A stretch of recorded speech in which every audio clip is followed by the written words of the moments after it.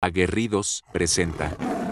Bajando del autobús una valla y estudiantes de la Federación de la UDG apuntándonos con tolas y metralletas. Literalmente, Yo creo que uno nace para algo y te vas desarrollando.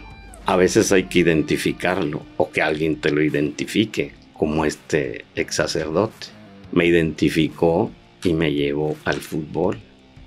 A Roberto Méndez Cáceres. Porque fue el que, el que conjuntó ese equipo del ascenso. Fue el que nos convenció. Fue el que hizo ese equipo que trascendió y que logró el ascenso. Y, y me dice a mí, oye, yo iba a verlos jugar desde el 71. Iba yo a, a Rayados y a Tigres, a Rayados y a Tigres. Pero había algo en mí que cuando yo iba a Tigres me sudaban las manos. Me decía Roberto que se ponía a vender boletos, el, presidente del equipo a vender boletos en una esquina de una, de una colonia, en un, con un megáfono. Y hablan ahora en el documental que, que, que, que del infierno van para arriba. El infierno fue el nuestro, literalmente te lo digo, el, eso fue el infierno. Tigres nació grande y va a ser el mejor equipo de Nuevo León. Lo repitió Mauricio. Es mi vida completa. Me dio una familia, me dio hijos, me dio escuela, vivir holgadamente ahorita. Me dio todo. Tigres me dio todo. Marcos, bienvenido. Muchas gracias por el tiempo de andar por acá. Estoy muy contento de poder grabar este episodio poder conocer más de la historia de Tigres. Bienvenido. Gracias. Después de dos años, Elim, de que intentamos esta reunión y por azares del destino, o más bien por los hackeadores, a mí me dejaron sin teléfono, tuve que cambiar el número y, y ahora, gracias a Hugo Cruz, nos reencontramos y se hace este, este podcast. Claro, muchas gracias por tu tiempo. Eh, seguramente cuando salga este episodio ya está arriba el del licenciado Hugo, que le mandamos un saludo y le agradecemos mucho que nos conectara contigo. Previamente eso que dices de los dos años, había platicado con Jorge Zorrilla. Él tiene una cuenta que se llama Historia Tigre y es un apasionado de conocer de la historia de Tigres. Me acuerdo que cuando grabamos de los primeros episodios de este podcast, que ahorita ya llevamos más de 165, él tenía un Excel. Y, a mí me gusta mucho ver esos detalles de cómo la afición se clava tanto en lo de Tigres que él en su computadora me dice, mira, aquí están Excel, partido por partido, resultado, quién metió gol, qué minuto y todo. Porque le gusta ese tema de la historia. Él fue el que me había pasado tu número y de repente no sé qué pasó, que perdimos comunicación. Y ahorita, como bien mencionas, pues nos volvemos a encontrar acá en el estudio. Te agradezco bastante por tu tiempo. Justamente en la comida que nos aventamos antes, eh, hace unos días, comentabas como una historia curiosa de cómo empiezas a jugar. Eh, me platicabas que andabas de arquero, y de repente te ven, o sea, ¿cómo, cómo está esa onda? Porque, no sé, en, en esos años, a lo mejor no era muy normal que alguien dijera, mi sueño es ser futbolista. Como a lo mejor ahora los jóvenes sí pueden tener eso, pues porque ven los reflectores, porque ven la fama, porque ven el dinero, porque ven en las redes y puede ser aspiracional. En aquel entonces, ¿te pasó por la mente esto de yo quiero ser futbolista profesional o cómo fue? Sí, la verdad que sí. Em, toda mi niñez, desde que tengo uso de razón, eh, jugué fútbol. En la primaria, que fue donde empecé, en el colegio, en el recreo jugaba. En donde vivía yo me, mandaban por, por la leche, que antes era en una vasija, una ollita. Yo la ponía a un lado de la portería y me ponía a jugar. Y regresaba con la leche ya bien tarde, pero regresaba. Y después en el colegio, después un poquito ya más avanzado, en este, en, en un equipo del barrio de portero, porque yo quería ser portero. Y tanto quería ser portero que yo me vestía como el famosísimo portero mundialista Ignacio Calderón.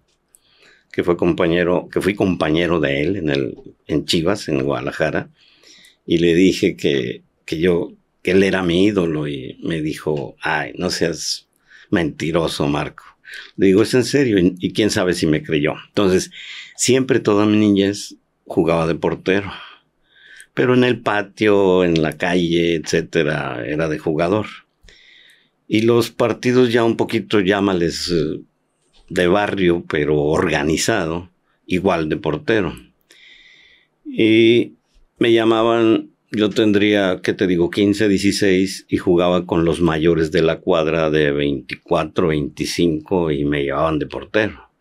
Entonces una vez uno de ellos estaba participando en las fuerzas básicas de Cruz Azul y me dijo, oye, pues juegas bien, te, vamos a Cruz Azul. Y ahí voy. Ahí voy a Cruz Azul levantándome a las 4 de la mañana para tomar el, tren que sale de, de la Ciudad de México a Jaso Hidalgo entonces lo tomaríamos como a las 5, llegaríamos allá a ocho y media, 9, empezabas a entrenar y regresaba a las 5 de la tarde después de haber engañado a mi madre de que iba yo a ir a jugar a, tal lugar, ahí en la Ciudad de México. Y iba hasta allá y sin probar alimento, sin probar alimento hasta las 5, 5 y media de la tarde. Y así, y, ahí, y así estuve yendo mucho tiempo y dentro de los porteros famosos que estaban, que apenas iniciaba, estaba Enrique Mesa. Ahí estuve como 8, 15 días y me dijeron, ya no te podemos dar este, para pasajes. Si quieres seguir viniendo, pues ven. Entonces, como la mayoría de los futbolistas somos de extracto humilde, pues yo tenía en un principio que pedirles a, con los compañeros que yo jugaba, mayores, que algunos trabajaban, pues que 20 centavos, que 30, que 50, y completaba yo para, para el pasaje del tren. Y después dije, no, pues ya no, ya no, ya no voy a Cruz Azul. Entonces, pues yo seguía con la idea. Sí, me dijiste algo que a lo mejor en aquellos años no todo mundo quería ser futbolista, sí, todo mundo quería ser futbolista. Y llegaban no los tan buenos, como mi caso. Porque de haber perdido tanto tiempo de portero, debía haberlo utilizado para practicar de jugador. Entonces sí había mucha gente que quería ser portero. Es más, en la colonia que yo vivía, en la Ciudad de México, había unos jugadores buenísimos. Yo me quedaba con la boca abierta cuando los iba a ver jugar. Mayores que yo, ¿verdad? Entonces, este, sí, la mayoría queríamos ser, pero no todos, porque es un gran sacrificio. Tú sabes. Que no te desveles, que no tomes, que no vayas a fiestas, que vete a entrenar, que es un sacrificio y que mucha gente no quiere. Hoy estaba viendo una narración de Sergio Goyri, actor, que quería ser futbolista, que estuvo en el América y que estuvo en otro equipo, que estuvo ahí un tiempo y lo corrieron. Y le da gracias a Dios haber sido actor y no futbolista, porque en aquellos años no pagaban bien. Pero queríamos ser futbolistas.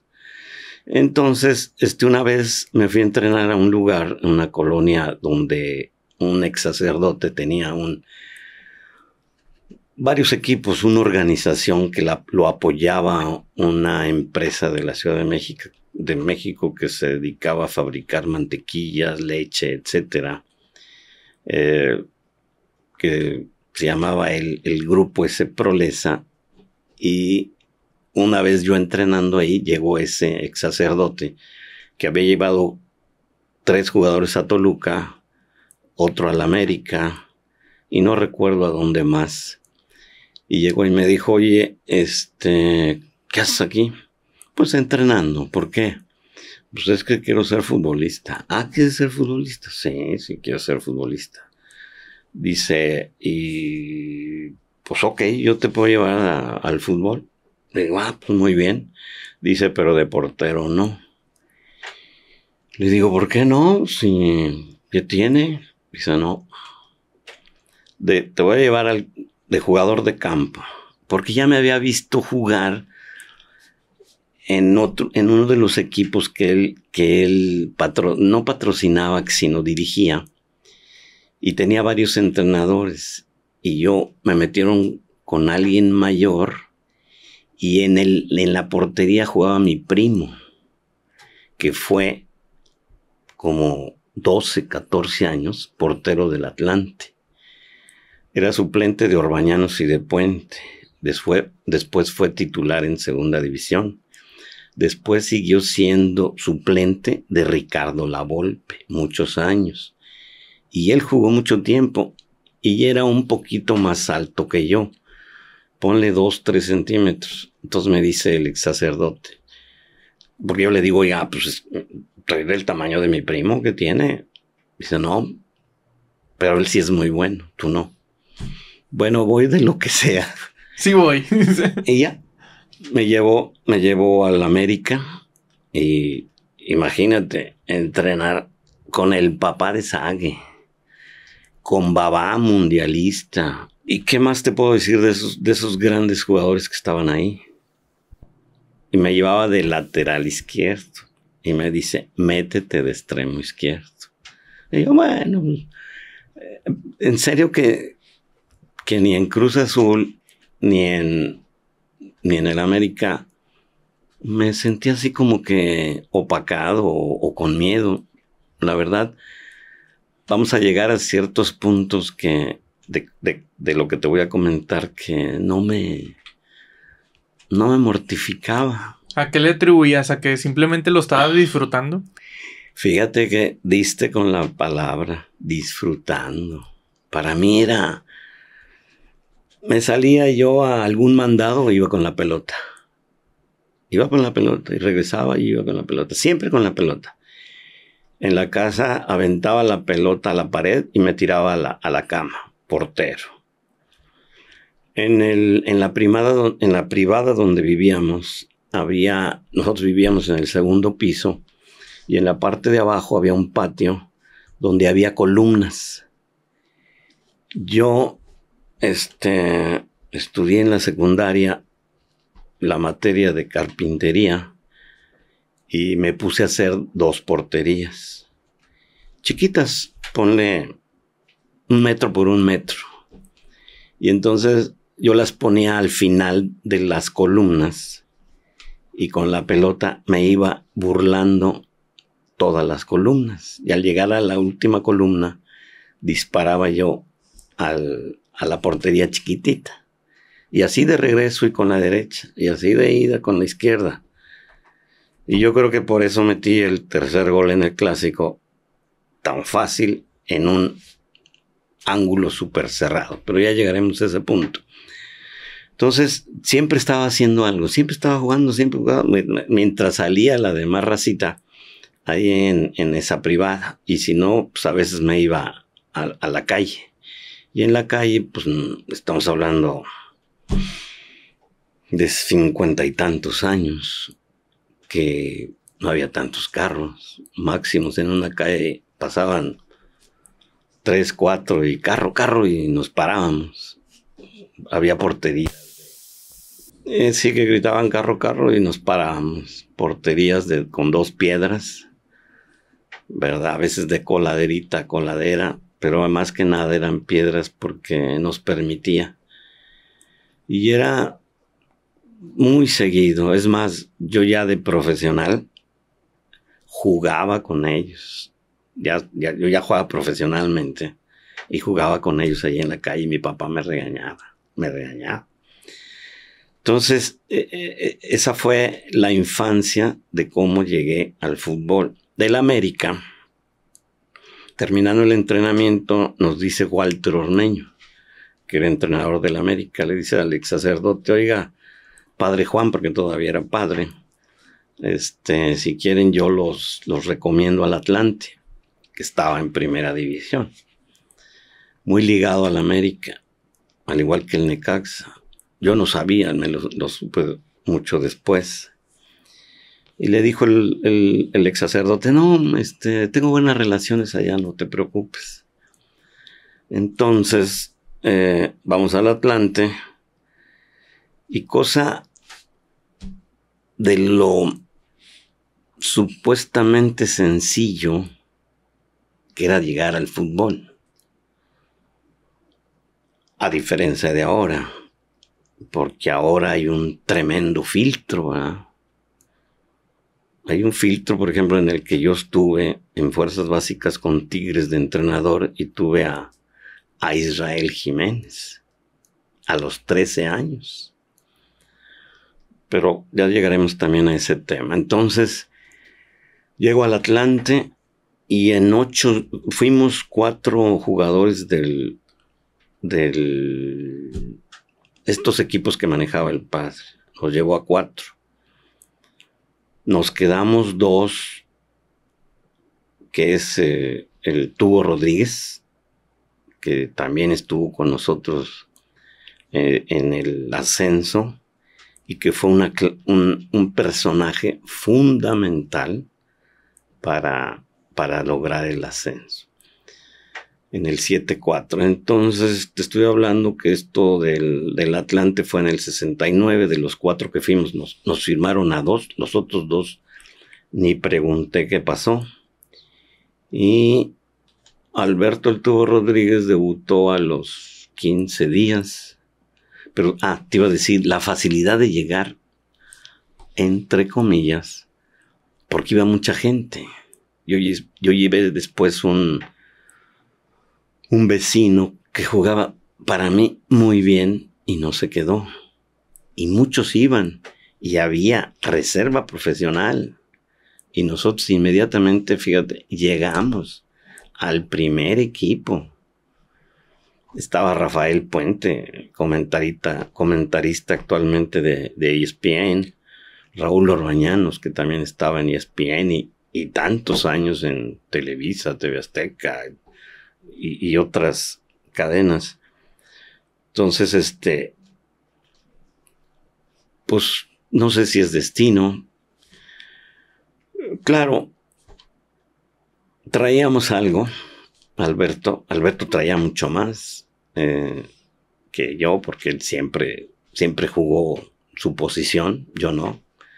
Entonces yo fui, ah, previo a esto, debo contarte eh, que yo cuando yo estudiaba en secundaria, mi madre me, mandaba a este a llevarle de comer a mi padre en unas viandas. Y a veces en camión, a veces a pie. Llegué a la imprenta que hacían unas revistas que se llamaba Tierra, muy importante en la Ciudad de México la, la prensa que se, llama, que se llama lo que mi papá manejaba, es una prensa que medía, pues no sé, yo creo que unos 15 metros por unos 4, 3, y tenía una, una rueda y un brazo que hacía que girara la, la rueda. Y yo pues me recargué en una, en una mesa atrás donde ponían las formas, porque así se llaman, donde las llenaban con todas las letras, etcétera, lo que era antes. Y mi papá las cargaba, las ponía y echaba a andar la, la, la, prensa. Y yo puse el pie en el, en el brazo, el pie derecho. Entonces, no sé qué me distrajo y si me va el pie, se me va el pie literalmente. Y yo grito, mi papá viene corriendo, me quita el zapato y ya ves que el pie está así. Me quitó el calcetín, salió este dedo así, desprendido del pie. Toda la fractura, todo fracturado, me lleva papá al Seguro Social, me cosen y me, y me enyesan tres meses. Así era antes, tres meses enyesado, con muletas. Ahí vas hasta la secundaria en muletas. Y para no hacerte la larga, me bajaba yo a jugar al patio de portero. Como quiera. con las muletas y de portero. Me alivio de. Me quitan el yeso y me da miedo pegarle con la derecha. Empiezo a pegarle con izquierda y izquierda y izquierda y izquierda. Y a los, a los muchos años me doy cuenta que las repeticiones es el triunfo Luego te cuento por qué. Entonces, me hice zurdo, seguí de portero, seguía y seguía jugando de portero, pues ya en el campo nada, uno, uno o dos partidos ahí al año en el campo, pero siempre en la, en, en el patio o en la calle. Entonces, fíjate, si antes querían ser futbolistas muchos, yo cómo llegué a ser futbolista. ¿Cómo llegué si, me, si, me, si no era mi pie diestro con el que jugué? Yo jugué los nueve años profesional por el lado izquierdo, de extremo izquierdo. Es más, nunca jugué de extremo derecho, ni me probé. Sí jugué a veces de medio. Empecé en el Atlante de lateral izquierdo. Así fue como me contrataron. En los entrenamientos, pues el entrenador veía que yo le pegaba con la pura zurda. La paraba con la derecha. La sigo pisando con la derecha. La pisaba con la derecha. Y la izquierda era para pasar, para disparar, para centrar o pases largos. Y llegué. Yo creo que uno nace para algo y te vas desarrollando. A veces hay que identificarlo o que alguien te lo identifique, como este ex sacerdote. Me identificó y me llevó al fútbol. Falleció en San Luis, te voy a decir, hace como 15 años. Y pues nada más fui a San Luis, a su sepelio, y yo agarré el, micrófono y, y, dije, gracias a este señor, muchos nos hicimos exfutbolistas. Yo de atrevido, fíjate, no sepelio. Este, pero yo estaba muy agradecido con él y pues terminé de, hablar y un aplauso de todos. Fueron varios que, llevó él al profesional. Entonces te digo que, que el futbolista nace y también hice un, anteproyecto de tesis cuando me titulé de, de, director técnico de la federación para director técnico de fútbol. Hice un anteproyecto de tesis que no la terminé y encontré dentro de ciento y tantos libros eh, de que el futbolista nace, pero se tiene que, ir puliendo, se tiene que ir desarrollando, tiene que tener mucha, mucha práctica, mucho entrenamiento, muchas repeticiones, etc. Entonces me hice futbolista con, como que ya traía el perfil tigre, fíjate, eh, de de sobreponerte a, a todas las circunstancias, a, a qué quieres ser, a qué quieres lograr. Yo les digo a mis hijos y me dicen, ay, traes tu tema ya muy trillado, de que fuiste futbolista porque te fincaste ese objetivo. Y esa es una realidad. Si tú no luchas por ese objetivo, y ojalá, y sé que, te, que llega mucha gente joven, sé que que los que me están viendo en estos momentos que estén, lo estén haciendo, están muy jóvenes y algunos, aunque estén adultos, pueden lograr cualquier cosa siempre y cuando se la propongan ciento por ciento.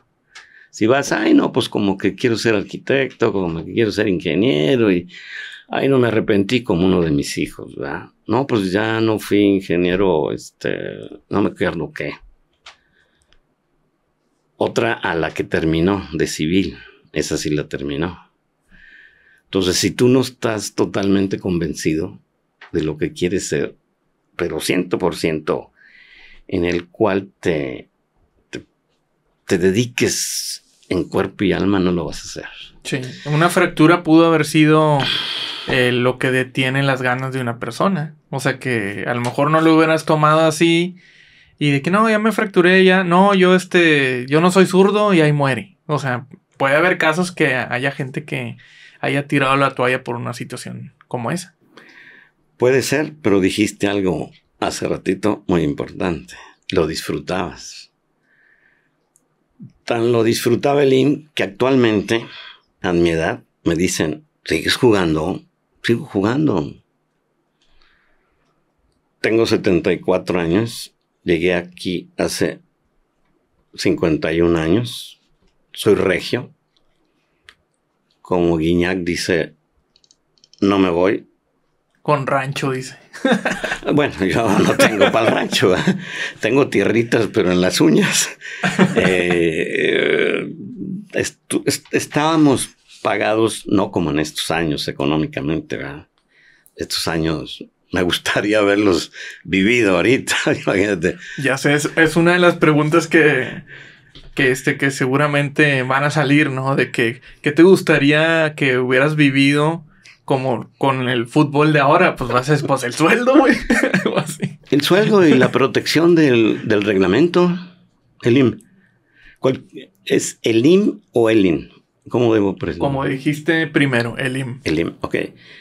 El IM por dos cosas.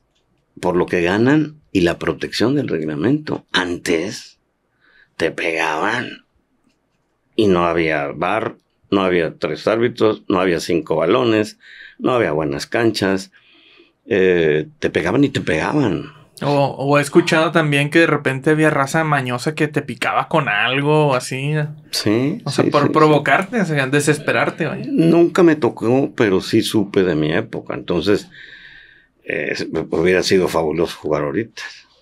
Pero, pero no, no hubiera, hubiera tenido este destino. Este destino. Haber llegado aquí a Tigres, haberme quedado aquí, que cuando yo venía a jugar a Monterrey, no me gustaba él. No me gustaba. No salía yo del hotel con el Atlante llegábamos al Son Mar, estaba más o menos bueno, ahorita pues ya, y con el Guadalajara llegaba yo al, al, Monterrey, al Hotel Monterrey. Sí. Y si no te gustaba, ¿qué fue lo que determinó que si quisieras venir a los Tigres? O sea, porque es Atlante, este, las Chivas. No, primero fue Atlante. en, el año 1969. Atlante, Zacatepec. Me prestaron a Zacatepec. Chivas y luego a Tigres. Luego regresé con el Atlante, pero no me, no me contraté con el, con el, con el dueño y me vendió algo a Guadalajara. Previo, tengo que decirte que cuando estaba yo en el Atlante, antes de ir a Zacatepec,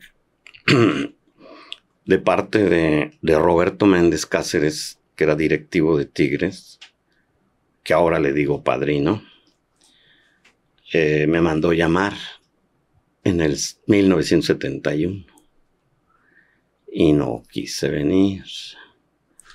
Me hablaron del equipo Torreón, porque era el Torreón y el Laguna allá en, Torreón. Después creo que vendieron la franquicia de Torreón, etc. A Torreón le pedí mucho y, ya a Tigres le dije que no. Qué pena. Pero si hablamos de que hay destino, pues me hablaron al segundo año. Y y no por pena, sino porque me animó que venía el Tubo Rodríguez, que fue compañero mío en el Atlante, y José Luis Puente del Atlante, hermano de Rafael. Y me animé. En Guadalajara, en Chivas, no me fue bien porque desde un principio, como en aquellos años, se estilaban muchas malas prácticas. En el mismo Atlante me sucedió que el dueño, cuando llegué yo a firmar, me ofreció una cantidad y yo le pedía el doble, porque me había ido muy bien. Y me dijo, te voy a, te voy a dar lo que me estás pidiendo siempre y cuando seas titular media temporada te doy ese aumento y te pago retroactivo. Las medias temporadas eran de 17 juegos o 16, por ahí así. La temporada era completa, no como ahora. Entonces le dije, bueno, me gusta el reto. A jalar. Nada firmado. De palabra, de hombres. Yo soy así. Yo no necesito que me firmes algo. Entonces dije, bueno, ok, nos va muy bien al Atlante. Traíamos un equipazo. Barrimos media temporada. Líderes, primer lugar. Y nos llaman a Luisa Muchastegui, que en paz descanse, a Rafael Puente y a mí a la selección nacional. Estoy hablando en 1971. Iba yo a cumplir 21 años, por ahí así. Eh, vamos a la selección, jugamos en Jalisco contra Rusia y luego en la Ciudad de México, en el Azteca, igualmente contra Rusia. En los dos partidos quedamos 0-0. Entonces, sucede que por ahí de esa de esos días nos toca jugar contra el Necaxa y nos quita lo invicto el Necaxa. Yo recién venía de la selección, nos quita lo invicto el Necaxa y el entrenador me banquea.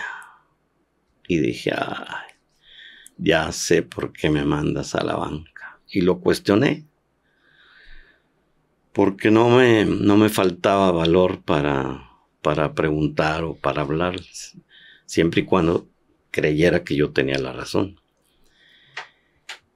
Y me dice, no, es que voy a poner a, tu amigo, el tubo Rodríguez. No, espérame, esto no es de amistades. Y yo vengo jugando bien, vengo de la selección, ¿por qué me sienta? Era un español, Ángel Subieta. Y este, le digo, no, ya sé por qué, no hay problema, gracias. No volví a jugar en el Atlante. Todo el tiempo reaccioné al revés. Ahí sí debo confesar que tuve una mala reacción porque me traicionó ese, el dueño del equipo.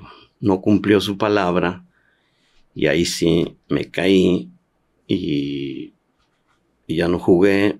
Llegó después, corrieron ese entrenador porque, porque también ya los demás jugadores no querían participar bien.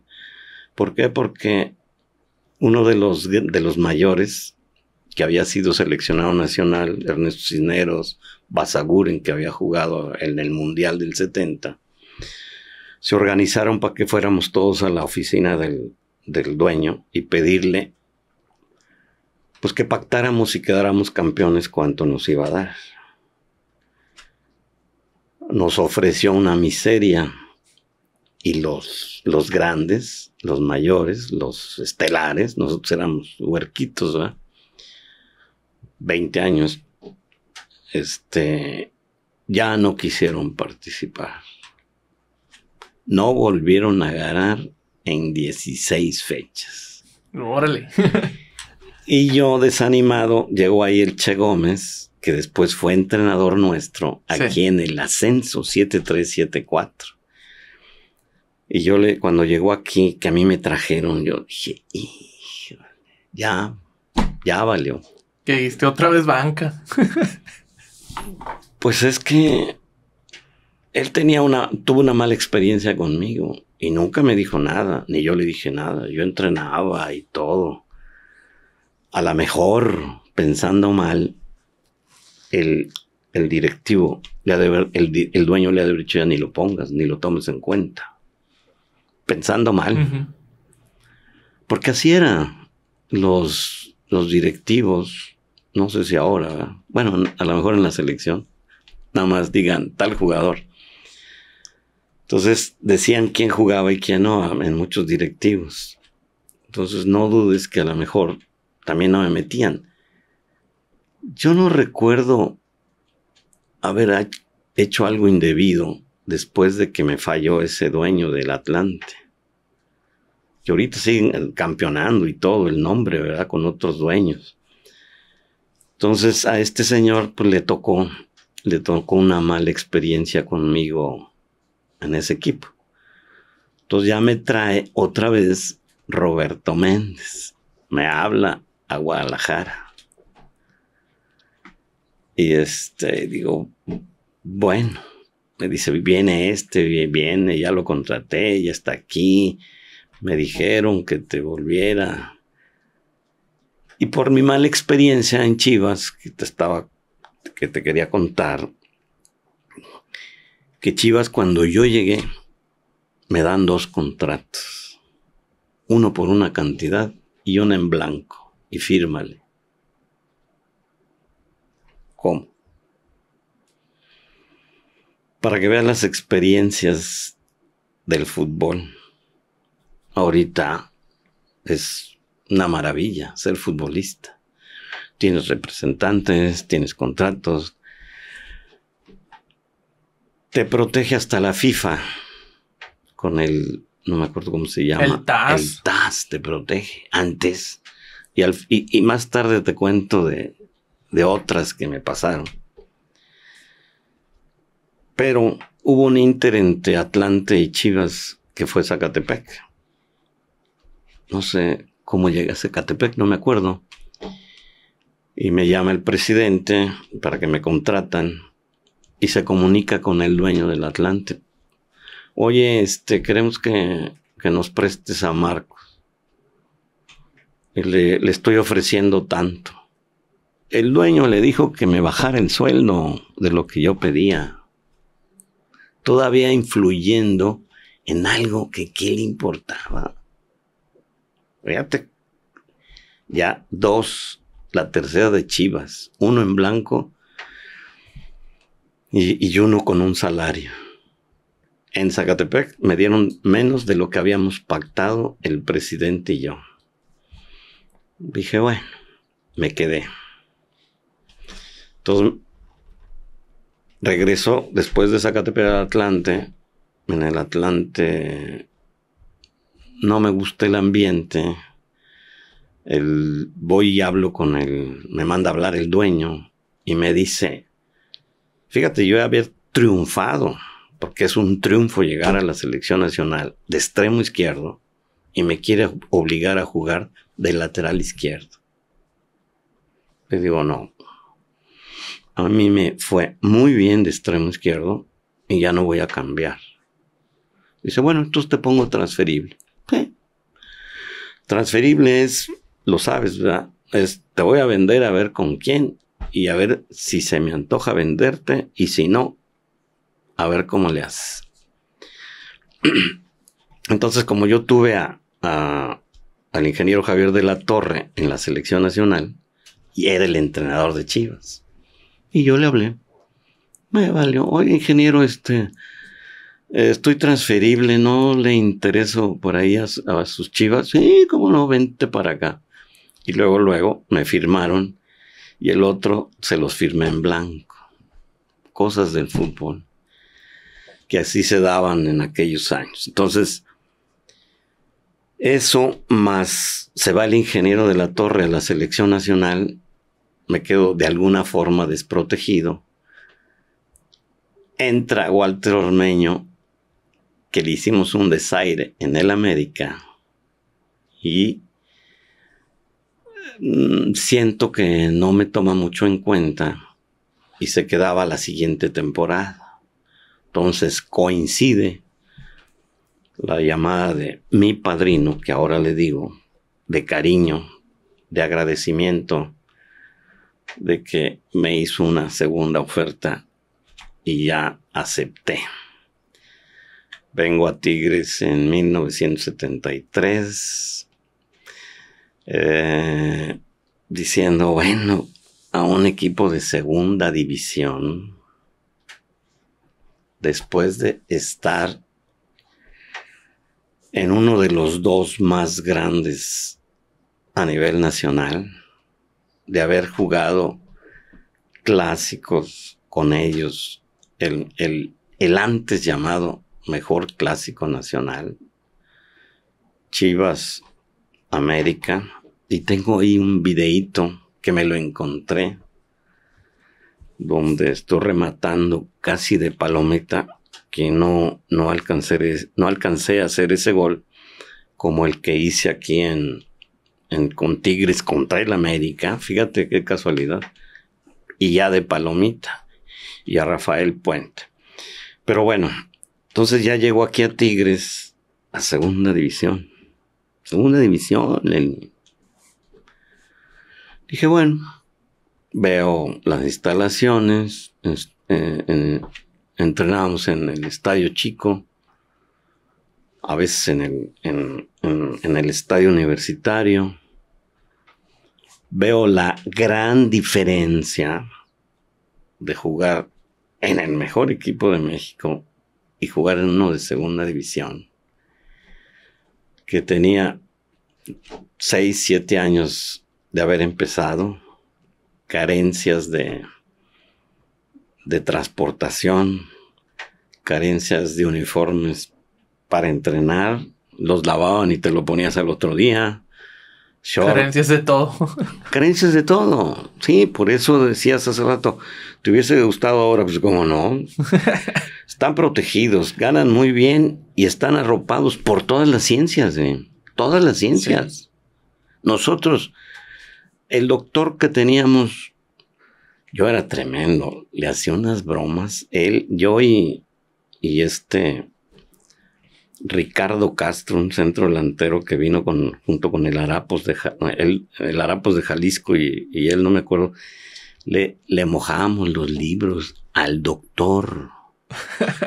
Era estudiante de, de, de, la, de la facultad de, de, medicina, no era doctor. Pero nos mandaban a un, a un aprendiz, a uno que estaba en, no sé, sexto, séptimo semestre, también fue este doctor nuestro, uno que fue entrenador de, los auténticos hace como 10, 12 años. Uno medio gordito que se me olvida el nombre, de pelo cano cano. Fue, fue doctor, fue entrenador de los Tigres, de los auténticos como 5, 6, 8 años. Éramos bien malosos con esos pues eran, eran chamacos casi como nosotros. Entonces, este, yo creo que a lo mejor se podía, se podía jugar con ellos. Entonces, pues ya llegó Tigres. Y, dije, eh, pues a darle. Seguía siendo como esta onda de del disfrutar. O sea, el disfrutar que jugar fútbol podía más que el venir a un equipo que estaba en segunda o alejarte de esas malas experiencias, alejarte de, pues de no estar a gusto. O sea, supongo que era porque tú buscabas jugar, ¿no? También. Jugar y probar, probar nueva gente. Guadalajara es hermoso. Monterrey, discúlpame que te diga, y mis hijos me regañan porque les digo que cuando yo decidí quedarme en Monterrey, era feísimo Monterrey. 1978, a lo mejor tú ni habías nacido. No, soy 85. Pues para que veas, o sea, 1978 yo decidí quedarme en Monterrey por dos, por tres cosas. Decidí porque quería seguir estudiando, porque ya estaba en la universidad, porque como que tuve visión de decir, aquí hay un futuro.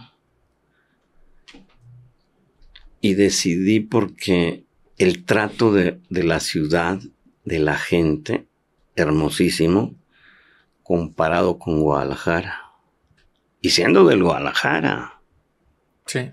O sea, todo el mundo te reconocía, pero no tenías los afectos que te dan aquí que me dieron, fíjate, hace cuántos años. Ahorita todavía le cuento a algunos amigos que de repente me planté, ¿qué te digo?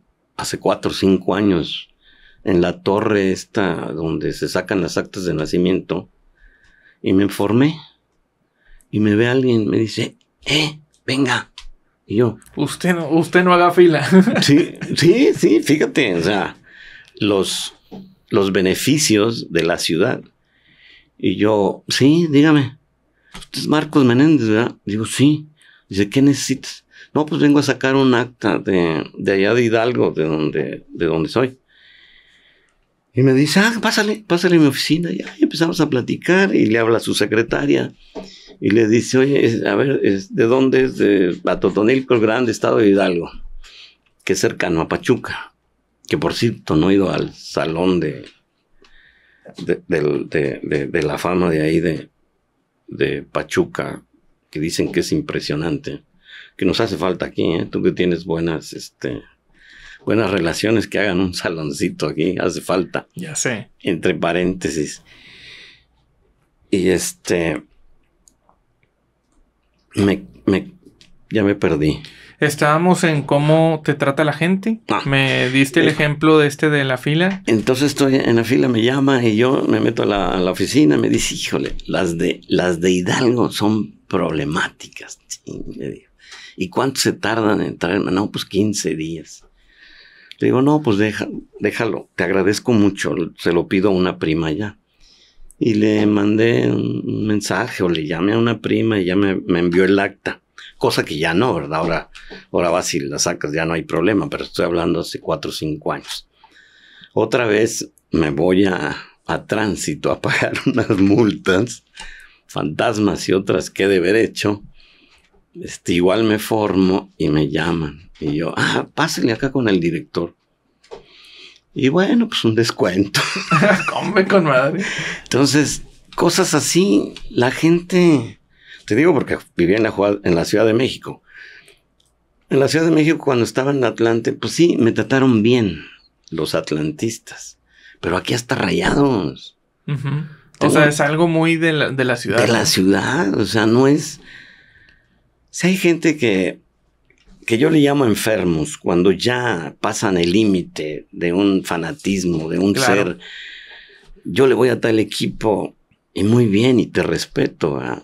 pero ya pasarte a agredir, a, Sí. a faltar el respeto, a, a no ser como somos aquí, porque te digo, ya so- toda mi vida aquí, yo soy de aquí. ¿Qué recuerdo tienes que atesores eh, específicamente de un partido? O sea, relacionado con la gente, ya sea al final de un juego, en un gol o algo. Pero para que nos, nos cuentes cómo era también pues, el aficionado tigre en, en esos años. No, pues el, el, el, el gol del empate al América, el, que, el de Palomita, que está considerado dentro de los cinco que puso ahí un periódico muy importante en su zona deportiva, cuando Silvera anota un gol así como de, tipo de Rabona, o ¿cómo le llamaste tú? De taquito. de Taquito, pusieron cinco y dijeron los cinco mejores goles que ha habido en el estadio universitario. Ponen el de Silvera en ese momento, pone el de Edu, Jonás Edu brasileño, extremo izquierdo de Brasil, que jugó con Pelé. Ponen uno de Tomás Boy y ponen dos míos. Ponen el mío de, de Palomita, el de la América que estoy contando, y el de Chilena a Cruz Azul de Miguel Marín. Pero en ese del América, el empate y cómo fue, lo viví tan bonito, no como el de Chilena, porque el de Chilena es desde fuera del área y yo me tiro de espaldas y no lo veo, pero este que te digo del América eh, lo veo perfectamente cómo va entrando y la ese día sí viví la respuesta del público en la cancha y afuera. Y si te cuento otras de los aficionados, de tu abuelo yo creo, o de tu papá, y de muchos jóvenes ahorita, sus abuelos, de seguro nos vieron jugar, me vieron jugar, y me los encuentro en algún lugar, y nada más se acuerdan del de Chilena. No, no, yo vi el de Chilena. Porque también fue un empate a Cruz Azul. eh, al mejor portero que había en México y que duró toda la vida como el mejor portero y que ahora lo viene a desbancar nuestro gran Nahuel. Para mí no había otro, como Miguel Marín, ni Hugo, ni habrá an- antes de él, ni después de él, hasta Nahuel. Ahora sí, Un buen de años. Nahuel, mis respetos, después de. que. cin- 40, eh, 40 años, probablemente, Sí. que, que, que sea ahora Nahuel. Sí. Entonces, la respuesta de la gente, no, es impresionante. Mira, este domingo pasado le hicieron un pequeño reconocimiento. Le llamo yo pequeño porque fue pequeño. Porque él se merece un grandísimo reconocimiento, homenaje a Roberto Méndez Cáceres. ¿Por qué? Porque fue el que el que conjuntó ese equipo del ascenso, fue el que nos estuvo convocando, fue el que nos convenció, fue el que hizo ese equipo que trascendió y que logró el ascenso. Y eh, se acercó este, un aficionado después del evento del, pequeño reconocimiento, yo le llamo pequeño. Para mucha gente es, es grande, ¿no? Fue muy pequeño para lo que él se merece. Fue en un campo de fútbol, con unos señores de machaos que yo, que por cierto a uno le, le dieron un, un, este, un reconocimiento porque se retiraba. Y le pregunto, oye, ¿qué edad tienes? Dice, pues tengo seis, nueve. Ya no le dije mi edad, porque le, le, digo mi edad y le digo, yo todavía juego con, con muchachos en Apodaca de 17, 18, 19, 20, 22 años. Se infarta si le digo eso. Entonces, este, le dan ese reconocimiento a Roberto y se me hace muy poco para Roberto Méndez. Y el escenario, pequeñísimo. Alguien le comentaba, no, este, este señor merece un reconocimiento en rectoría, si quieres en el patio, no sé dónde. Toda la vida en la universidad, es más, tiene 81 años, sigue dando clases. La universidad no le ha dado eh, una tipo jubilación, pensión, tiene que seguir trabajando, o le falta algo que, que no se le han querido completar. Este, entonces, no se me hace justo que le hagan un pequeño reconocimiento a un personaje que después fue directivo muchos años, eh, fue el creador de Suazua, y me estoy yendo a otro tema, pero bueno. Ahorita volvemos. Es, es que no, no puedo dejar de, de mencionar eso porque él me trajo aquí, me rogó dos veces y, y, y, en algunas cosas me dice él, no, Marco, ya no. Digo, mira, tú me rogaste dos, pero yo te voy a rogar muchas. No importa, no me importa. Yo te voy a rogar si tengo que rogarte para que, para que hagamos algo que, que, que en beneficio de, de, todos los fundadores de, de aquella, pues llámale década, del 6-7 al, al 7-4. Entonces eh, se hizo este aniversario. Pero volviendo al tema, ¿por qué me quedé en la ciudad? Por, por todos los fanáticos. Te decía ahorita que se, nos acercó un señor y, y me dice a mí, oye, yo iba a verlos jugar desde el 71. Iba yo a, a Rayados y a Tigres, a Rayados y a Tigres. Pero había algo en mí que cuando yo iba a Tigres me sudaban las manos. Y yo le digo, ¿qué, ¿qué, estás diciendo? Roberto, Roberto, ven, mira, oye, escucha lo que está diciendo este aficionado. Y ya se lo presento, ah, no, cómo no, Roberto, y qué bárbaro, mucho gusto en conocerlo, etcétera. Y le digo, sígueme contando, cuenta lo que me estabas diciendo, porque para este señor, que es inmensamente apasionado Roberto, si le tocas el tema de la universidad y de Tigres, no, no, es impresionante el hombre. Eh, más que un aficionado, más que directivo, más que jugador, él, es, es, él es todo, él es todo. Y le empieza a contar, ¿cómo? Dice, sí, yo iba a los dos estadios. tiene sesenta y tantos años, no me acuerdo el señor. Me dice, al de Tigres, desde segunda división, me sudaban las manos. Entonces, ese es el verdadero aficionado de Tigres, que, que muchos, muchos, ya, bueno, señores, viejones, yo creo que eran rayados y algunos se volvieron tigres. Se brincaron al barquito. Y ahora los hijos, los nietos, pues son tigres. Y algunos tenemos algún defecto, ¿verdad? A mí me salió un, un hijo, un hijo rayado y por consecuencia los nietos. Y le digo a mi hijo, oye hijito, ¿por qué eres rayado? Pues no sé, papá. Le digo, es que debes, debes de ser tigre. Por culpa de tigres, tú vives aquí. Por culpa de tigres naciste aquí. Todo es gracias a tigres. ¿Cómo es posible que seas rayado? Y no me lo pude sacar. El, el tercero hijo, el tercer hijo, el, fútbol, nada. El, el, es, actor en obras chicas. Él, él, estudió en la UDEM y siempre estuvo de actor, bailarín, cantante, etc. Salen obras, aquí pequeñas obras de la ciudad.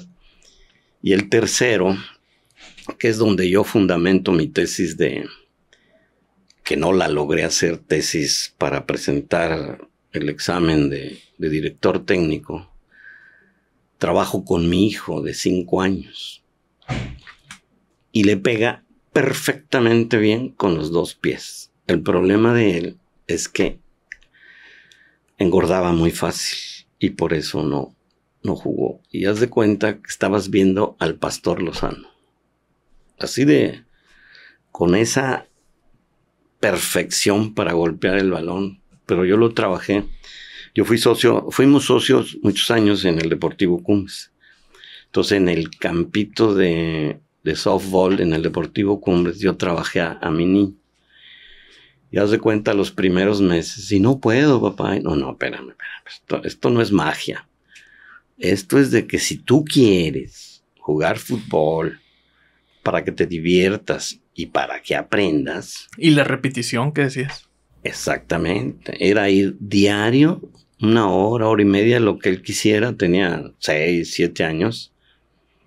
El, el, tiempo que tú quieras, no era a fuerza. Y si quieres, si no quieres, no. No, sí. Zurdo, él sí zurdo natural.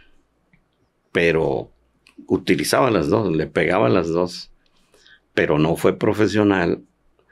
Bueno, no sé si no porque no quiso, pero más bien por el cuerpo. No tuvo, no tuvo la, la, la capacidad mental. A lo mejor su, su, mamá pues no, no le ayudó porque pues come lo que quieras, toma las gaseosas que quieras, las sodas que quieras. Y pues no, no era estar peleando ahí con la, en la familia. Y, no se logró. El mayor me reclama. Me reclama porque los dos hijos del Tubo Rodríguez sí jugaron fútbol profesional los dos jugaron en el Cruz Azul. Fue campeón Omar Rodríguez en el Cruz Azul cuando Hermosillo lo golpearon uh -huh. contra el León. Fue campeón Omar. Y Johan fue campeón en Santos Laguna y fue seleccionado nacional y, y jugó un mundial, fue un mundialista, Johan Rodríguez, uh -huh. famoso. Entonces me decía mi hijo el mayor, oye, papá, pero es que tú, yo jugaba con ellos y yo me los burlaba. Le digo, sí, nada más que tú no quisiste levantarte a las seis de la mañana para presentarte en el estadio a las siete y te llevaran a entrenar a Suazua. No, pues no, ah. A diferencia mía, que yo me paraba a las cuatro y media de la mañana para tomar el tren e irme a Cruz Azul y regresar a las seis, y tú no lo hiciste. Entonces de ahí, de ahí es donde te decimos, pues quieres ser futbolista, pero no te sacrificas. Claro.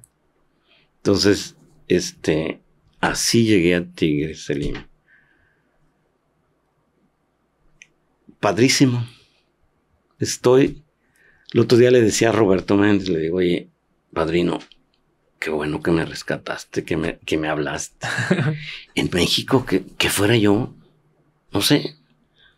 Aquí, pues me trajo él, gracias a él, gracias al doctor Luis Etos, que fue presidente de Tigres desde que era rector con nosotros. Yo fui un día, dije, ah, pues yo estoy en la universidad, pues yo puedo estudiar. Me arranqué su oficina, me recibió. Le dije, quiero estudiar, eh, doctor. Ah, sí, ah, ¿en dónde? En FACPIA. Antes se llamaba FACIA, ahora se llama FACPIA. Y yo debía tres materias del Instituto Politécnico Nacional de la Ciudad de México, la vocacional, que es la... como si fuera prepa, ¿verdad? Acá. Entonces me dijo, bueno, mira, vas y pagas las, las materias en la prepa 7, como quiera que entras a la universidad, las pagas, si las pasas te quedas y si no, para afuera. Y me dio beca, aparte, fíjate. Entonces, qué agradecerle aquí, tener eso. Eh, tuve algunos negocios, me fue bien, terminé la carrera. Mm, estoy agraciado de que pues actualmente puedo darme el lujo de no trabajar. Ya ves que mi amigo Hugo quiere, que, quiere que yo sea comentarista, analista y, platicador en la radio, en la tele. No. Que si en ese día me, levanto y me desocupo. No, le digo a Hugo, espérame, espérate, yo me levanto y me desocupo. Ya, yo, ya, ya estoy. Este. Entonces así, así llegamos a, a la ciudad de Monterrey, que no me gustaba, no me gustaba. Eh y me este, a ver un lugar cerca de, del estadio para ir a entrenar. No, pues en la colonia Náhuac, este, ahí rentamos.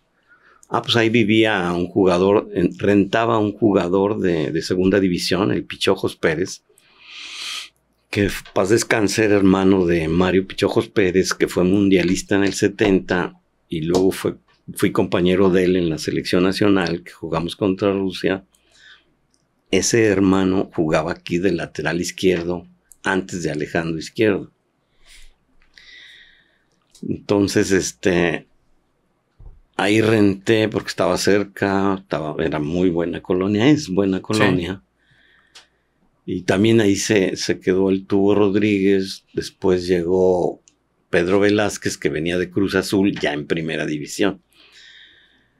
Entonces, pues así, así llegué a una ciudad que no me gustaba y ahora, y ahora me super encanta, me voy de vacaciones a algún lugar y, y, ya me quiero regresar, iba a ver a mi madre a México y ya me quería regresar, odiaba el calor, ahora no puedo estar sin el calor.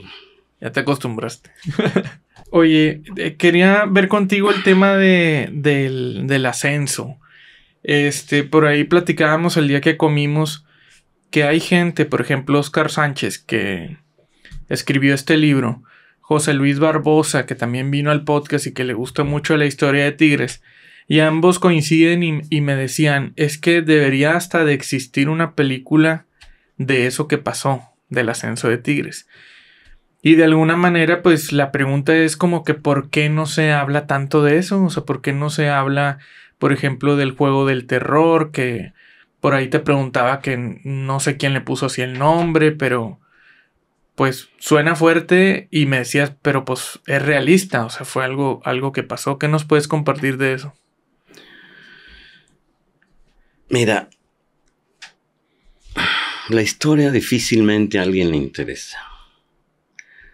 Solo yo creo que voy a etiquetar mal los intelectuales que les gusta leer, que les gusta saber a detalle todo,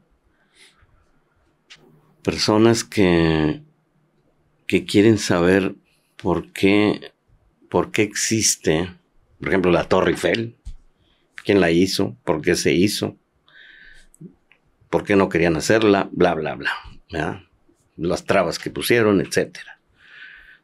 Entonces, no queremos, no queremos irnos al pasado, porque el presente está hermoso. y el futuro pues, se ve mucho mejor. El pasado, valga la redundancia, todo mundo dice, pues ya pasó.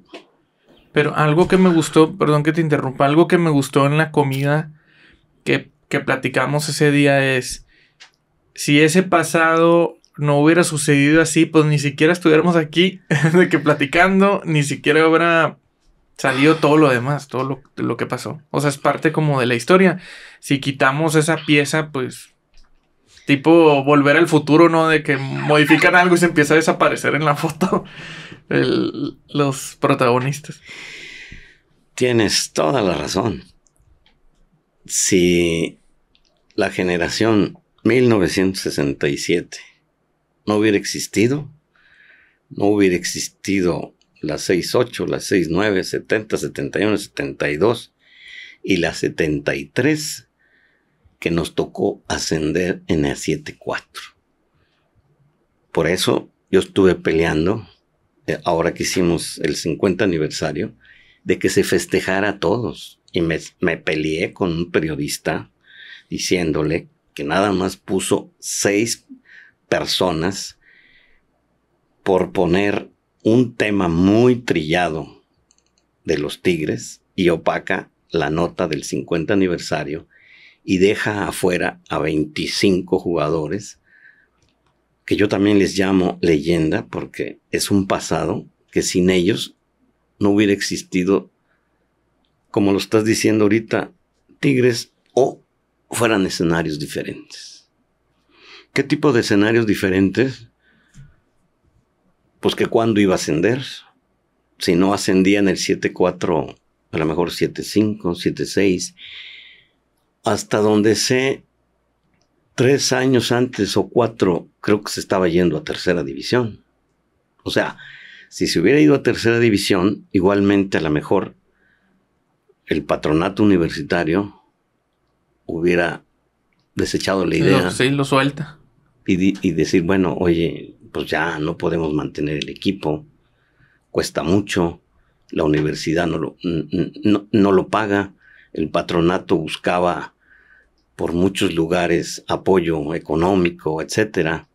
Me decía Roberto que se ponía a vender boletos, el, el, presidente del equipo a vender boletos en una esquina de una, de una colonia con un megáfono, no sé cómo se diga. Entonces, los escenarios fueran totalmente diferentes. Eh, no me hubiera quedado en Tigres, no, sé dónde me hubiera ido, no hubiera yo eh, cursado una carrera en la Ciudad de México. No sé, escenarios para todos no fueran igual, para ti, no sé. Entonces, eh, para el mismo clásico, ¿cuándo hubiera sido el primer clásico? No en el 7 en julio del 7-4. Hubiera sido en, en, junio, julio del 8-3. No sé, no sabemos el futuro, cómo iba a ser. Entonces algo que dijo por ahí un, un directivo de, de, de bajo rango, dijo, pues no estuvieran ahorita platicando con ustedes lo del evento del 50 aniversario. Pues tenía razón. Tenemos razón. Los que nos gusta la historia o lo que nos gusta saber de nuestras raíces, como saber de, de tus bisabuelos, de dónde vienes. Fíjate, yo cuando fui a, a Madrid me traje un, un pergamino que venden y lo enmarqué con mi apellido. ¿De dónde viene mi apellido?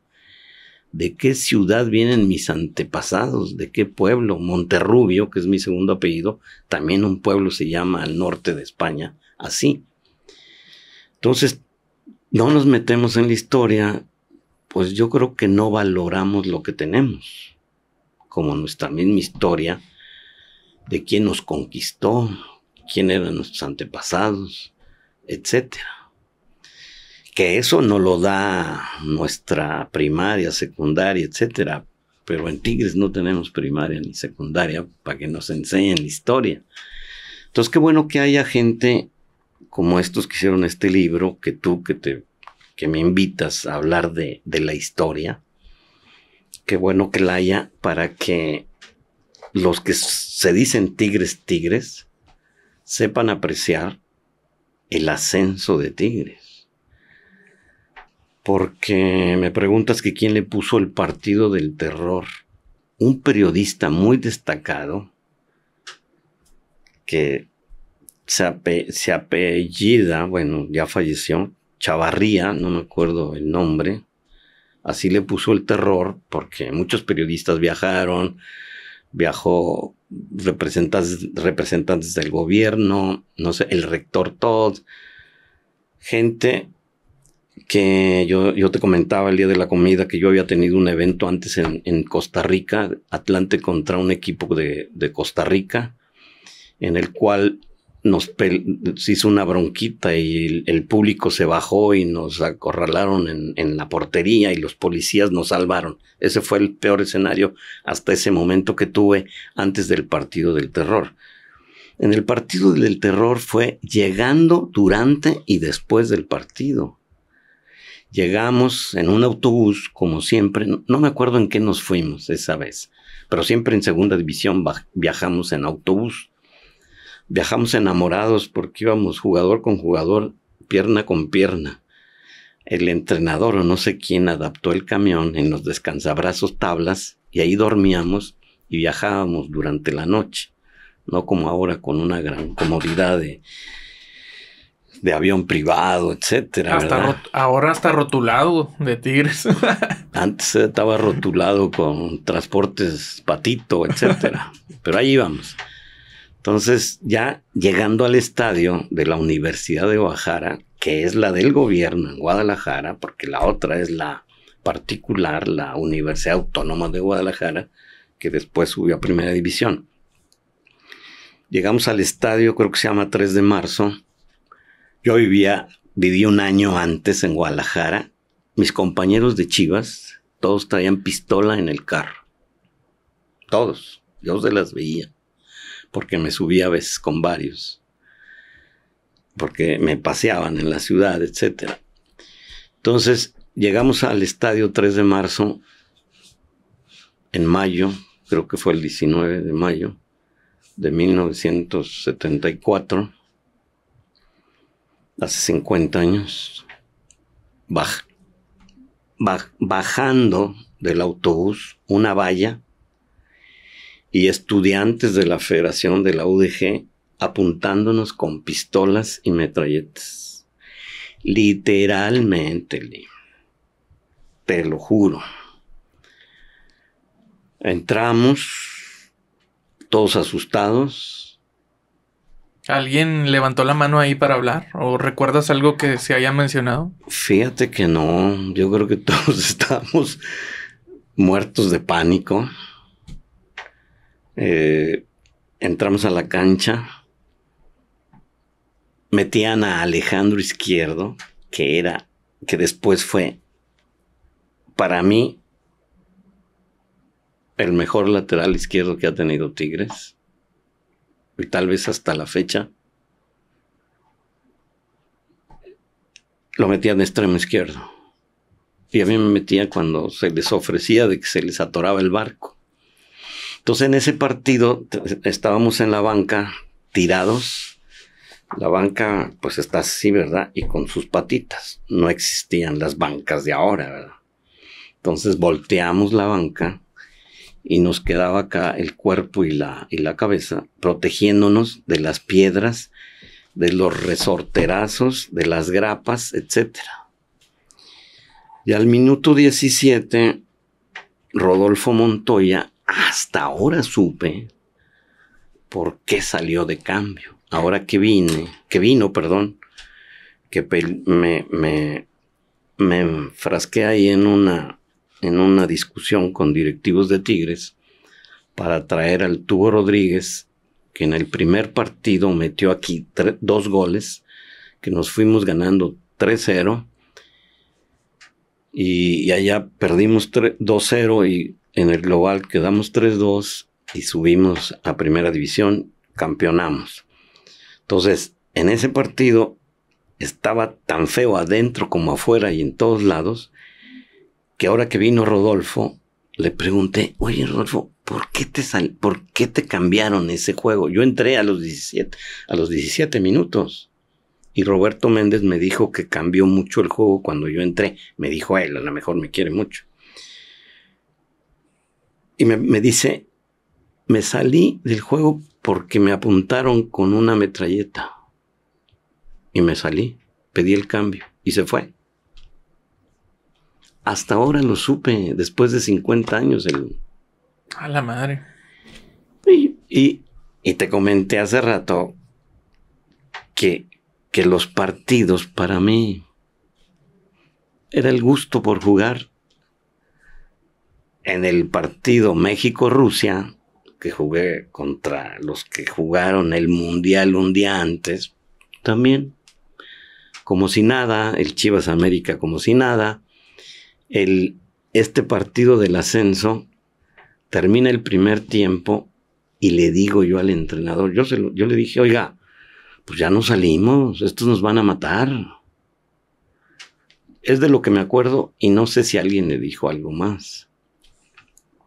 Me dice, no, hay que salir porque va a estar peor si no salimos. Total nos convence y logramos el ascenso. Y ahora que me invitaste, yo hice una serie de anotaciones. Las hago a propósito, no para traerlas como cuando iba a la escuela de hacerlas así de acordeón, pero haz de cuenta, las, así, se me quedaba. Sí, bueno, cuando lo escribes se te, se te queda más. Entonces, todo lo que te estoy diciendo lo traigo aquí anotado porque es como se me queda o cuando lo anoto en el celular. Entonces, haciendo estas anotaciones y con lo que me estás preguntando, yo te pregunto, como pregunta, tuvimos entrega, nos partimos el alma, como dice Nahuel, hay que tener entrega, partirse el alma, como dijo Vato, Em, no importa, independientemente del resultado, hay que partirse la madre. Ok. Como dijo Nahuel, atrás del otro lado del miedo está el triunfo. Nosotros teníamos miedo. Y yo te pregunto, ese perfil tigre ¿les queda corto a los de ahora? ¿O queda igual y ganando tres pesos nosotros, comparado con millones de ahora? Y, hoy se habla del perfil tigre. Yo te pregunto, ¿dónde crees que cabe más el perfil tigre? ¿Hace 50 años o ahora? Está impresionante lo de hace 50 años. Lo que tengo para aportar ahí del tema del perfil tigre es que me gusta, pero que no se abuse de él en tema de mercadotecnia. O sea, no, no para todo le pongas perfil tigre. Eso siento yo. Y, conociendo esta historia, este, del, de ese partido del terror, para mí también es como un.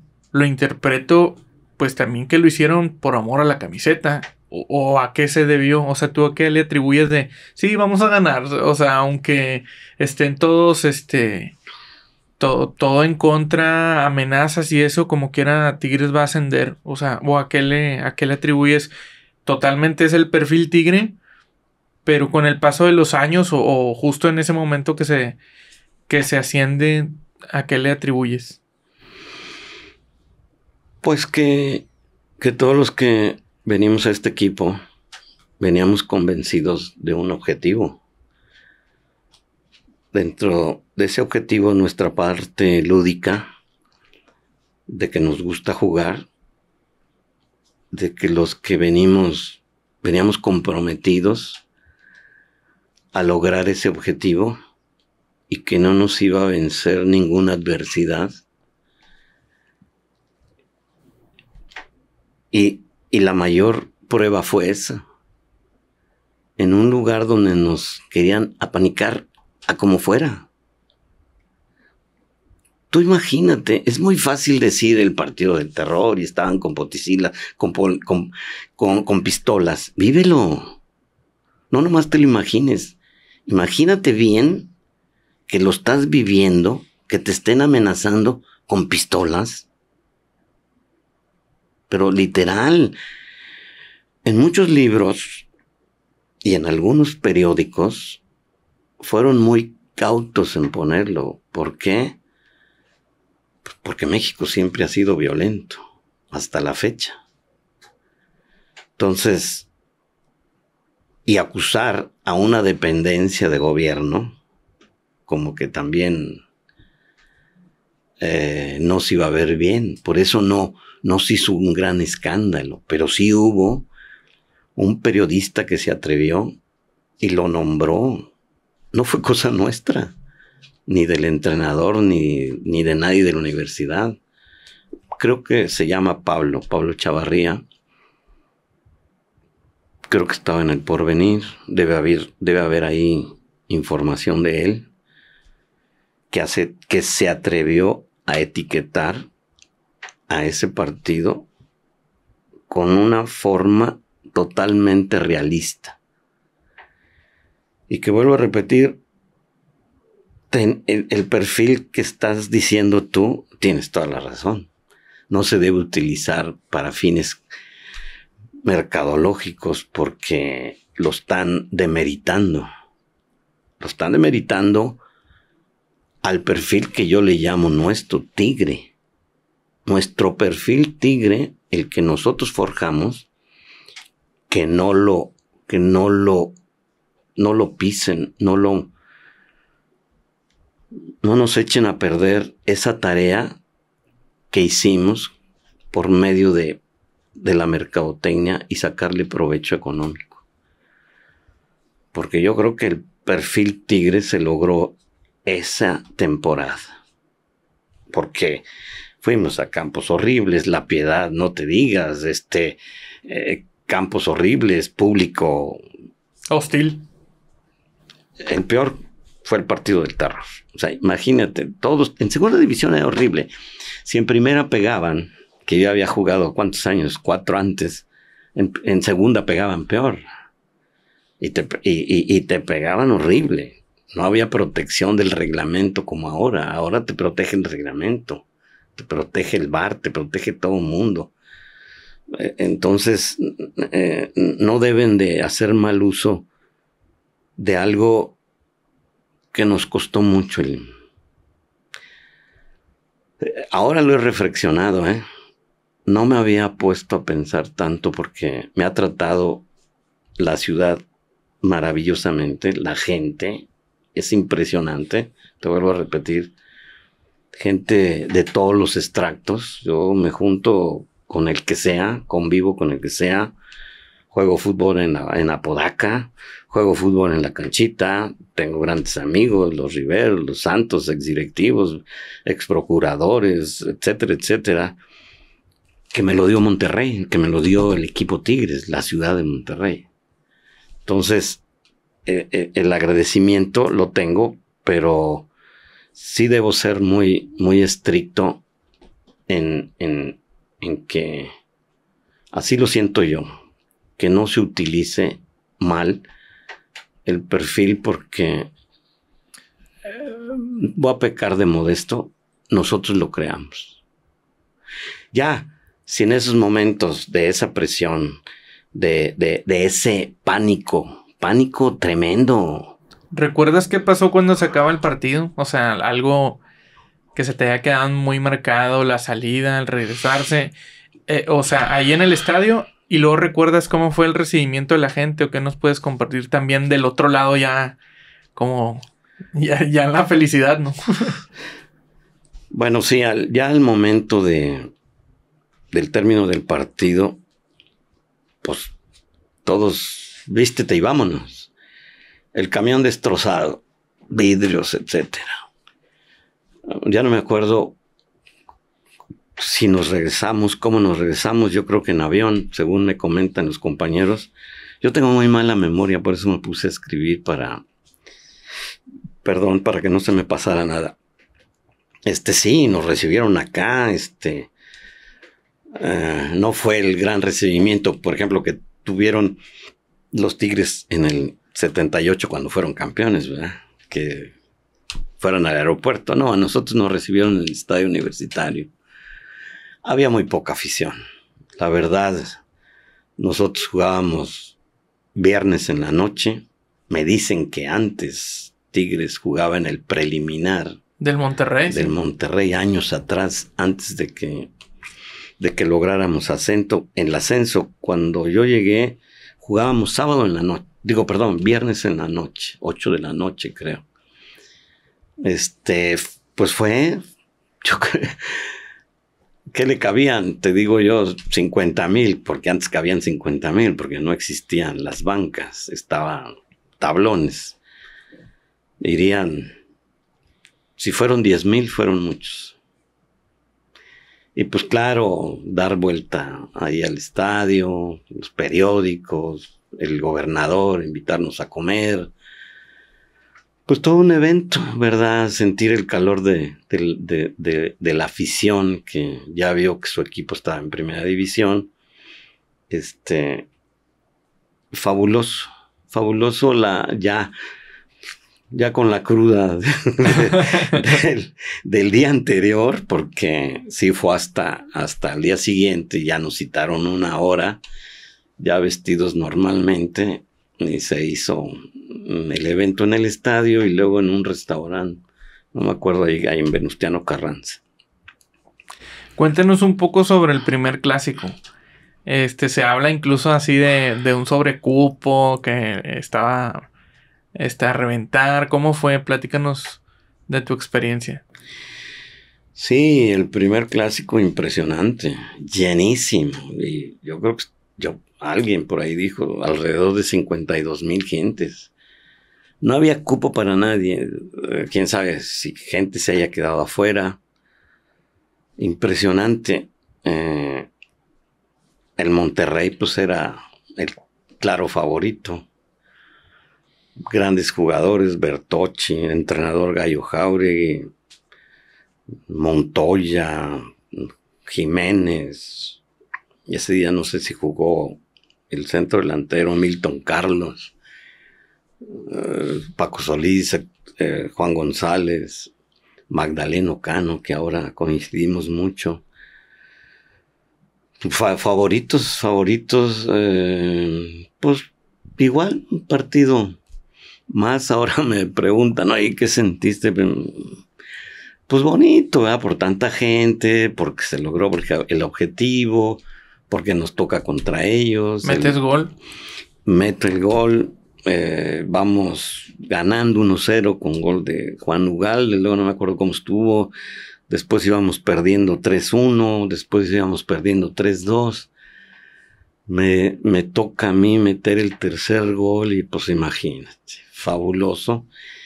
Y, y más en la forma, un, un, un lugar con el, el marco totalmente cerrado, un ángulo muy, muy chico, pero eh, recuerdo cuando me preguntan de eso, de, de, cómo entrenaba yo de chiquito en las porterías minis que, que, yo hice, y yo creo que eso me dio la, la, la capacidad de, de, hacer ese tipo de gol.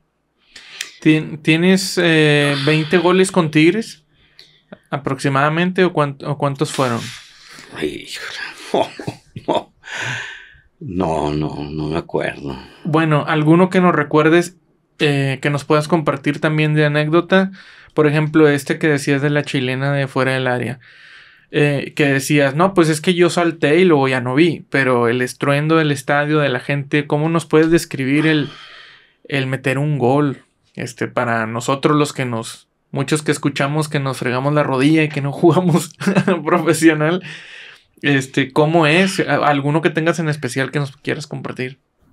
Mira, ese, ese de chilena, que es el más bonito, este, que es contra Cruz Azul, contra el mejor portero de esos momentos, y de muchos años, ya que lo comentamos. Eh, eh, hay una jugada por, la, por el lado derecho, allá por donde está Barbadillo. Eh, se hace por allá la jugada. A mí Claudio Lostanao, muy, muy inteligente para, para dirigir, para enseñarte a jugar, para, para todo, muy intelectual estudiaba mucho, tenía muchos libros, etcétera, me decía, tú siempre ve hasta el primer palo. Ahí vas a sorprender, vas a, vas a meter goles. Le hice caso y metí muchos. Pero ¿cuántos metería? No sé, nunca, nunca, como antes los extremos extremos éramos clavadísimos de extremo, no, no te metías al centro. A mí sí me gustaba, ¿verdad? Pero en los entrenamientos me regañaban los, entrenadores porque nadie lo hacía. Y yo me desenvolvía mucho y, hacía mucha, mucha travesura. Entonces ese partido contra Cruz Azul, ese gol de chilena, yo voy hacia el centro y quién sabe cómo sale el balón hacia arriba y yo me estoy pasando por ir hacia el centro. Veo el balón encima de mí, me volteo y digo, pues de chilena. Estoy hablando afuera del área grande, casi dos metros o dos metros y medio. Le pego y sale al ángulo a Miguel Marín y yo tirado y volteo que ya es gol. Y al otro día, pues veo todas las gráficas. Del, periódico, desde, desde, no, no desde cómo le estoy pegando, ya tirado en el suelo, cómo va volando Miguel Marín, cómo entra el gol, y así es como lo vi. Y después esto se quedó en el canal 8 de aquellos años. No lo pude rescatar. Roberto Hernández Jr. me lo pedía mucho. Búscalo, consíguelo. Le digo, pero es que no lo encuentro. Es que de, fuera del área, pues ni Hugo Sánchez. Hugo, Sánchez metió unos goles hermosísimos. El actual goleador Guiñac, pues, hermosísimos goles, ¿verdad? al tipo de chilena pues adentro del área y más, más acostado que totalmente de espaldas. Entonces, pues imagínate ese golazo. Todo mundo gritando por pues porque empatamos al Cruz Azul, que era de los buenos en esa década. Si no era el uno, era el dos. Y pues la gente, pues imagínate, que fue en el 75, a los dos años de haber ascendido. Pues fabuloso. Y te digo, me encuentro a un viejón y me dice, yo estuve en ese gol, yo lo vi. fabuloso. Y el otro que te decía de Palomita, y pues le metí gol a, un equipo alemán que vino. Eh, pues muchos, va, pero no. No era, no era. Metí goles por, por Claudio Lostanao. Y porque me gustaba mucho también ir al centro, igual en el Atlante, en Chivas, ya te conté el de, el de Palomita que casi metía al América, igual que se lo metí aquí, pero yo con Chivas que no le alcancé a meter. Entonces sí tenía una cierta facilidad para hacer goles, pero pues antes eras extremo extremo.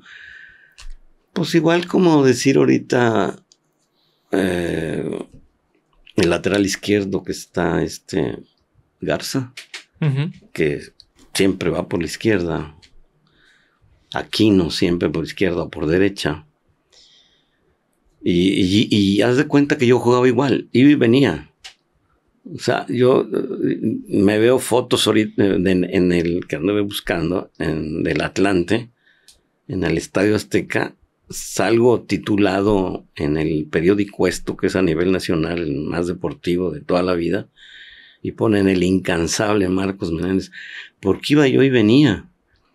Y aparte, ya cuando en Tigres con Claudio Lostanao me hacía ir al primer palo y regresar a defender para hacer el 4-4 y dejar a Barbadillo y a Jiménez solos arriba para que ellos empezaran e, e iniciaran el ataque con, empezando con Lola y Washington Olivera, porque todavía no llegaba Tomás, Tomás Boy, y ya cuando llegó Tomás Boy, él hacía las veces de cuarto medio, porque lo empezaba a meter de extremo izquierdo Claudio Lostanao, y ya cuando quería hacer un cambio, sacaba al uruguayo Washington Olivera, metía a Tomás de medio y a mí me metía de extremo izquierdo. Y yo seguía haciendo ese 4-4-2 que manejaba Claudio, porque dejaba siempre solo a Barbadillo y yo entendía, pues aquel es el fenómeno, él, él tiene que estar con todo el aire para hacer el, trabajo de, iniciar el, el ataque. Y yo llegaba por sorpresa y hice muchos goles, pero la verdad no, no, no, no muchos, ¿verdad? Pero para ser extremo hice varios goles. Jorge Zorrilla, que te comentaba al principio, fue el que me dijo de los 20. Me dice, yo recuerdo que son 20 goles. me, lo, puso ahí en un, este, en un escrito que, le agradezco. También te, te toca eh, jugar la liguilla por el no descenso en el 76. ¿Qué nos puedes contar de eso? No, hombre, qué pena. Esa liguilla eh, vino a rescatarnos el bombero. Arpad Fekete. Arpad Fekete. Eh, te voy a contar antes de la liguilla. Debo hacer ese paréntesis. Porque el bombero me utilizó. Fuimos a jugar un partido que, que valía ciertos puntos porque Laguna se estaba también peleando el descenso. Y me dice, Menenge, vaya y, marque todo el tiempo, todo, todo el partido a Peruche. Y yo, ¿cómo? Todo el juego pegado a Peruzzi, un centro delantero. Yo voy a pegar, sí, Oye, lo desobedecí. No lo hice. No recuerdo el resultado. Nunca lo había hecho, Eli. Pero no me dio un razonamiento. Nada más me dijo así. Y yo dije, ¿cómo? No lo hice. Y después nos toca ir contra el América no sé si hayas, no, tú eres muy joven, Antonio de la Torre, un mediocampista que proveía de balones a Reynos, que era el creativo de, aquellos años del América. Vamos al Estadio Azteca y entonces si me dice, señor Menéndez, necesito que marque Antonio de la Torre, que es el que corre por toda la cancha, que es el que provee de balones a Reynoso para iniciar la ofensiva del América. Si usted lo marca todo el tiempo como se lo estoy pidiendo, estamos haciendo un gran trabajo de sacrificio, pero un gran trabajo táctico que usted nos va a ayudar muchísimo en ese partido. Y ahí sí lo obedecí porque me dio una explicación que no podía negarme. Y nos fue bien. Ya hablando del partido del descenso al que te estás refiriendo, tuve una mala experiencia. También llegamos a Zacatepec, bajamos del autobús y llevamos porros. ¿De dónde salieron? De la universidad. Nos hicieron una valla y nos protegieron y ¡eh! gritos, pero nada que ver con con lo de la UDG. Empiezo de titular. Yo noto que el agua que nos dieron en la comida o, en el desayuno tenía algo. La vi turbia. Y yo dije, no me, o la noche anterior eh, empieza el partido, mete gol, no me acuerdo cómo, sí me acuerdo cómo quedamos, pero metió gol Roberto Gadea y metí gol yo. Quedamos 2-2 en Zacatepec. Pero lo que te quiero decir que la única vez que fui expulsado en nueve años de profesional fue en ese juego. ¿Por qué? Salí súper agresivo. Salí como loco.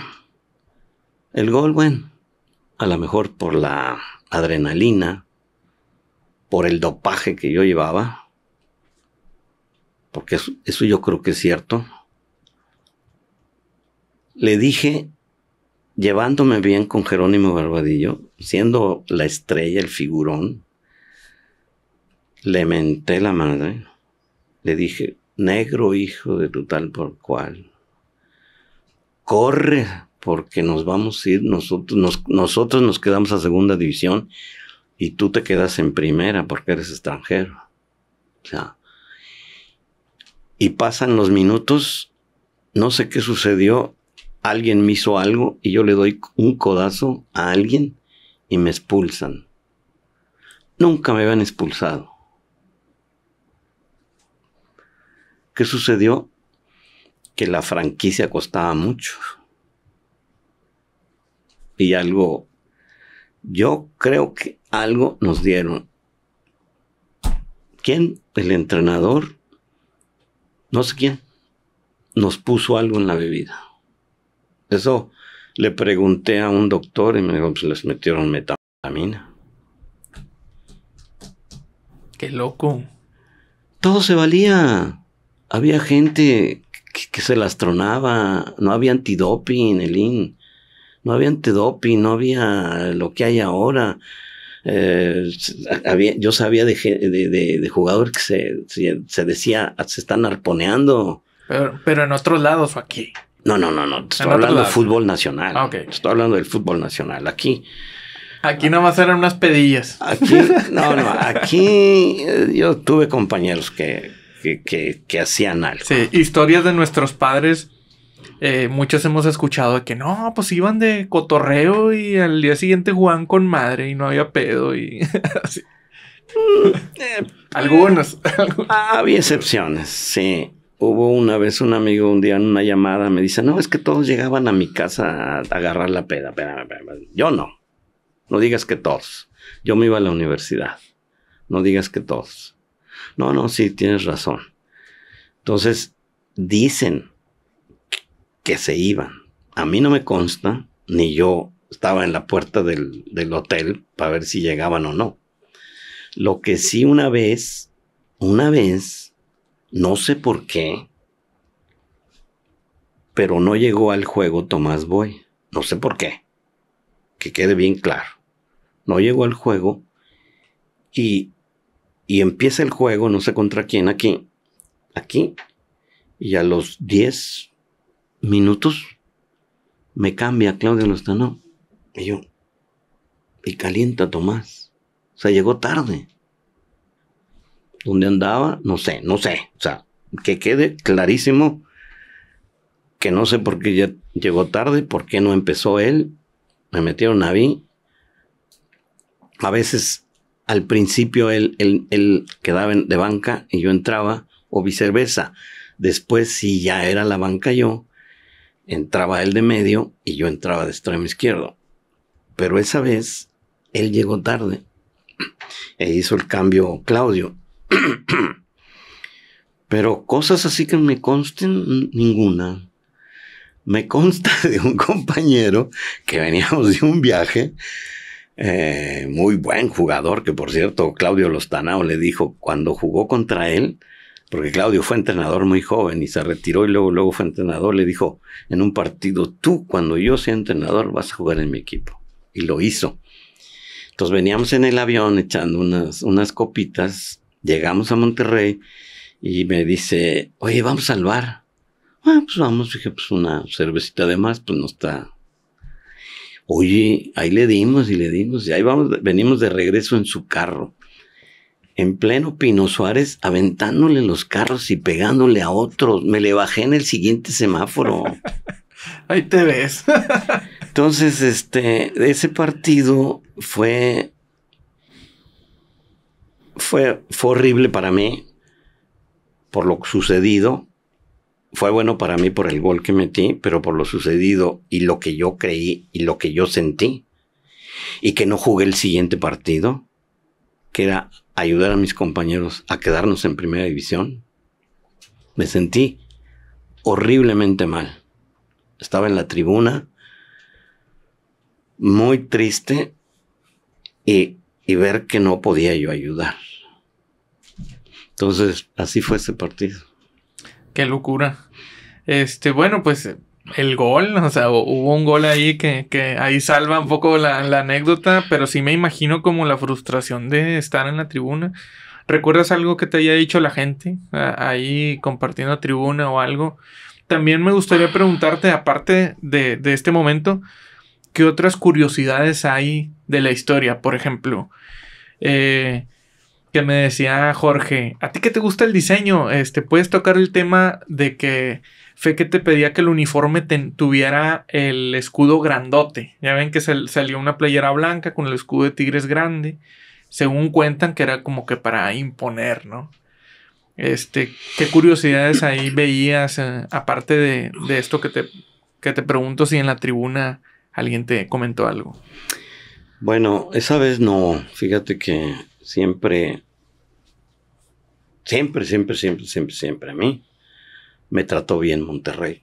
Todas las personas, siempre, siempre, siempre, nunca.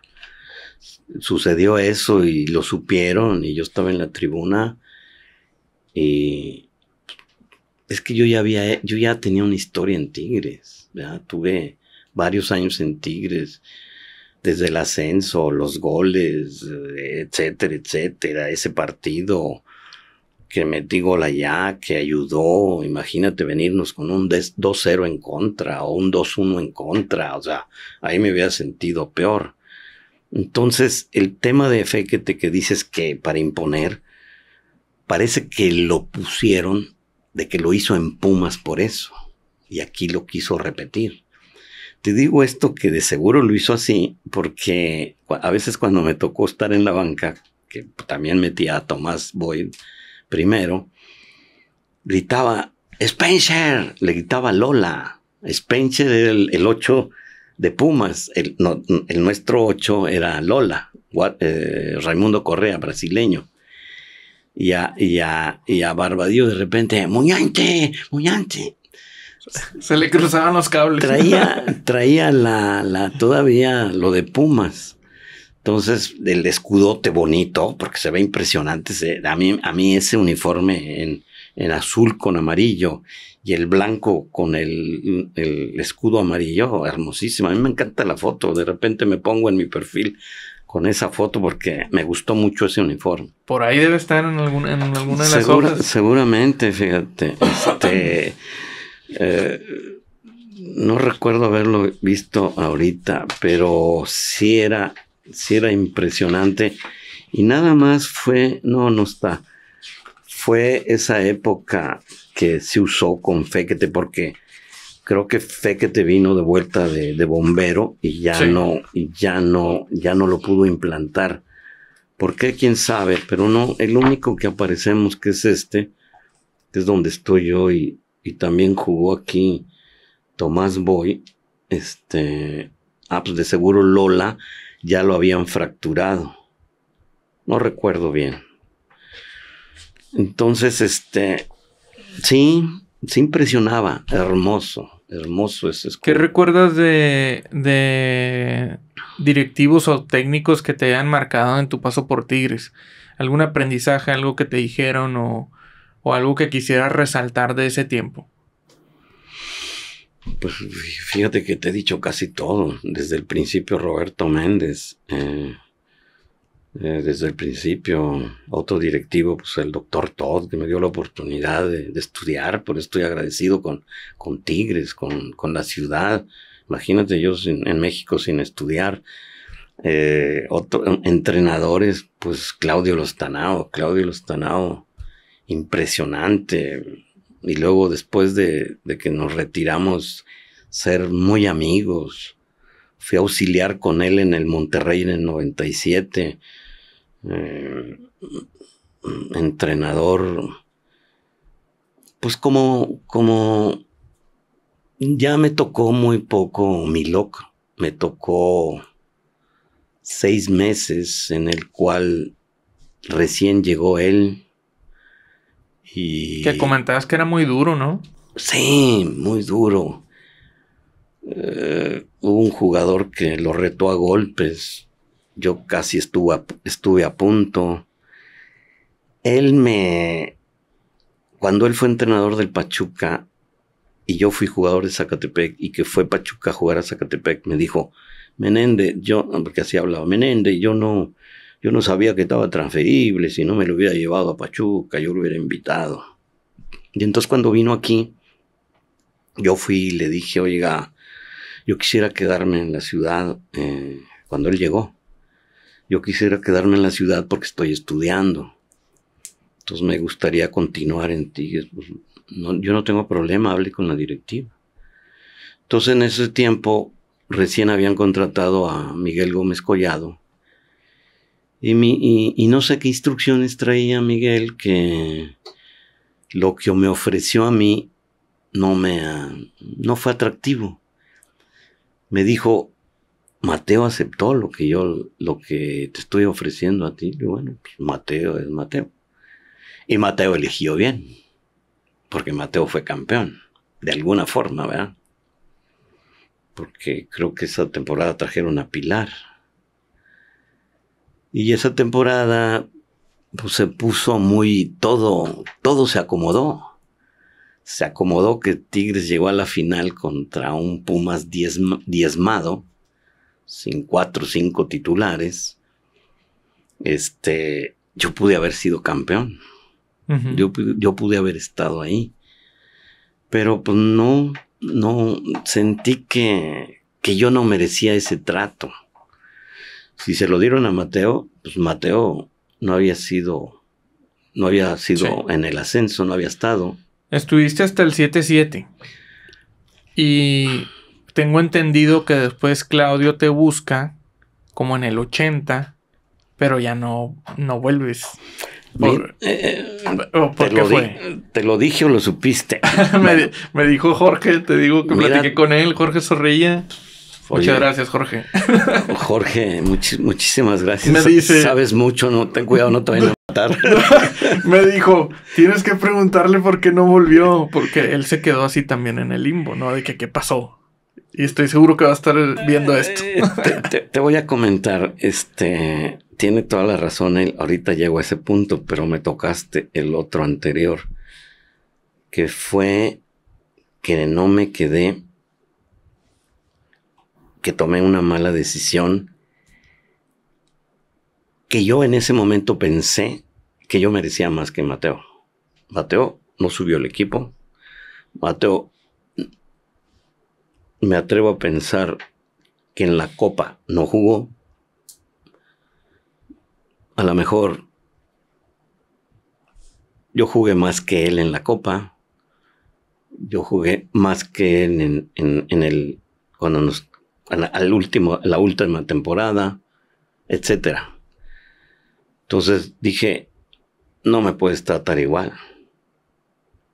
Que son de las cosas que, que mucha gente no ve en ciertos jugadores, que por ahí alguien se atrevió a decir que fuimos, se refirió a Tigres, no, no a todos, pero habló de jugadores de ese momento que a mí en lo personal me molestó mucho de un directivo, hablando de directivos ya que me dijiste, no voy a decir el nombre, porque no es correcto para mí, dijo, señor Milo, córrame a esos vividores. Dije, pero yo no soy vividor. Me maté en el partido del ascenso del terror. Me, me estaba muriendo en la raya literalmente, apanicado, y, me y, se atreve a etiquetarnos a todos como vividores, a lo mejor existían jugadores vividores, a lo mejor. No voy a criticarlos porque yo no convivía con ellos. Yo entrenaba y jugaba con ellos. Entonces no me tratan bien y me voy. Entonces le hablo a un, a un ex compañero mío del Atlante que era entrenador de Veracruz y me voy para allá a Veracruz. Y allá.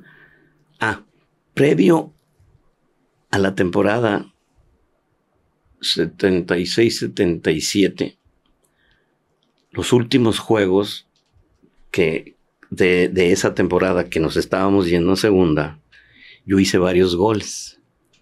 Íbamos perdiendo 2-1 en el Azteca contra Cruz Azul. Me mete Fequete y hago dos goles.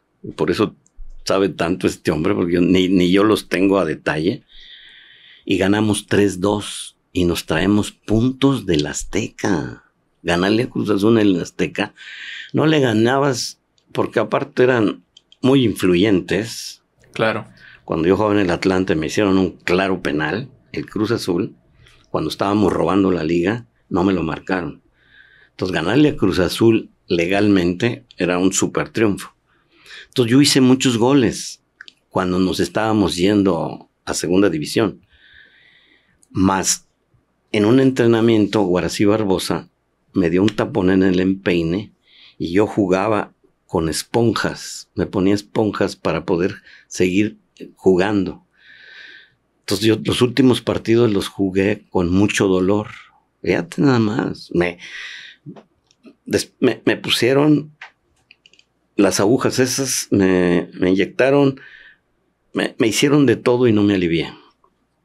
Entonces, me quedo varios meses transferible porque en el estire y afloja con, con la directiva y que Milo no me, en ese momento, no me pidió 100%, sino dijo, ustedes decidanlo.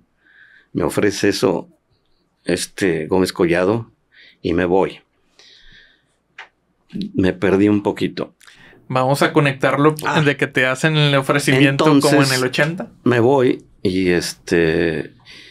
Y sí, y, y, me voy a Veracruz. Me hacen un mal contrato en Veracruz.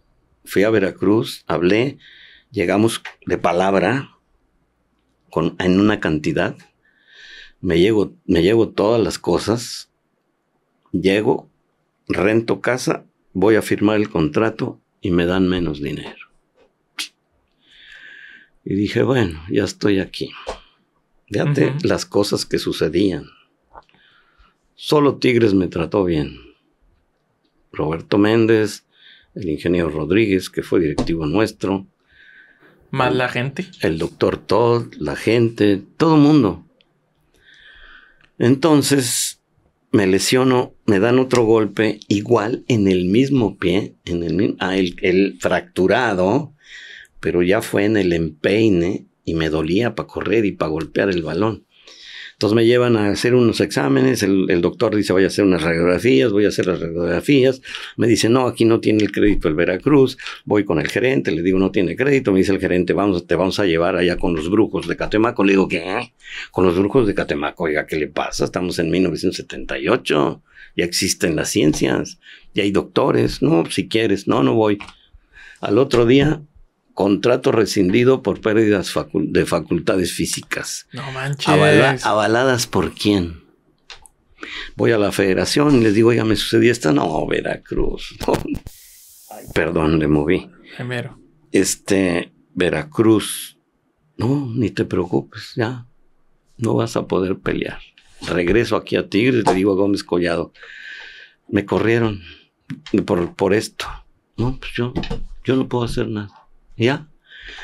Entonces, este, que fueron cuatro meses, creo, estuve en Veracruz y lesionado y vámonos para atrás, para Monterrey y a la escuela. Y pues como ya estaba yo como en octavo semestre, séptimo, séptimo, pues a trabajar.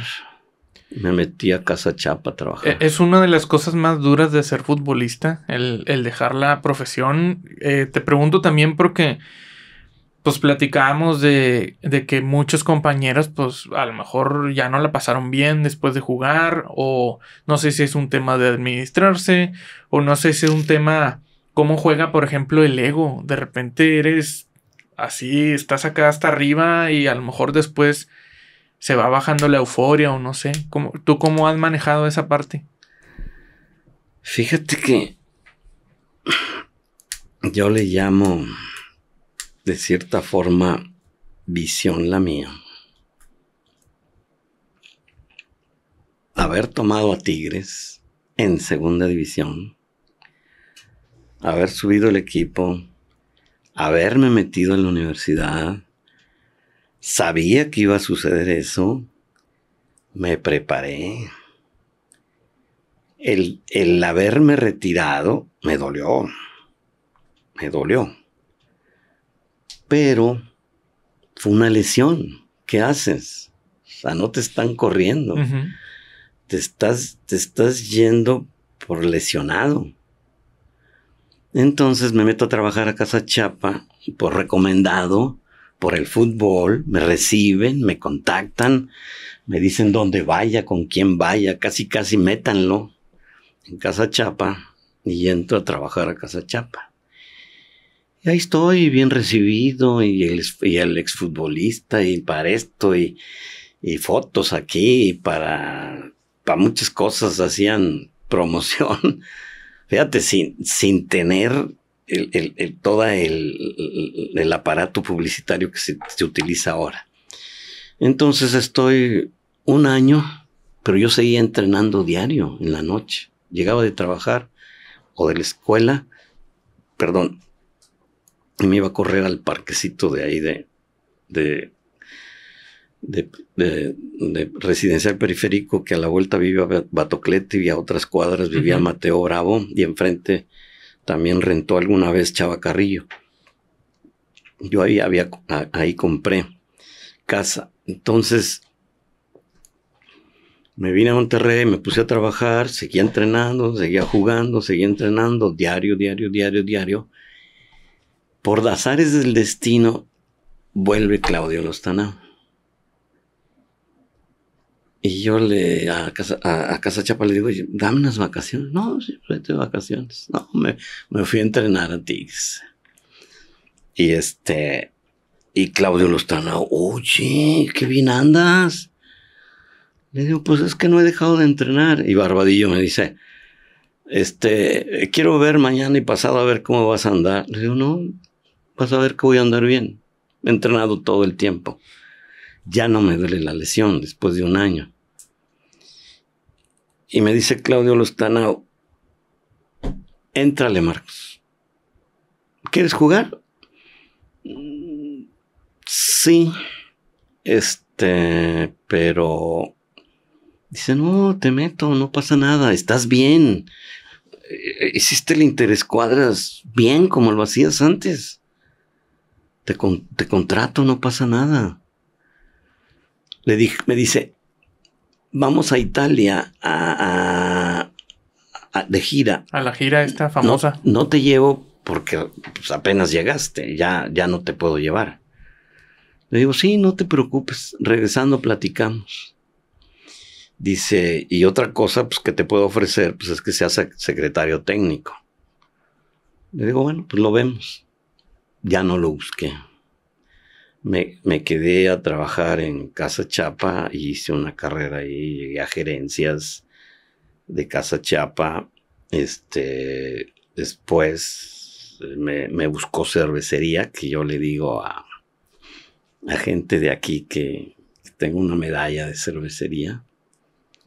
Este, de que cervecería me llamó para trabajar.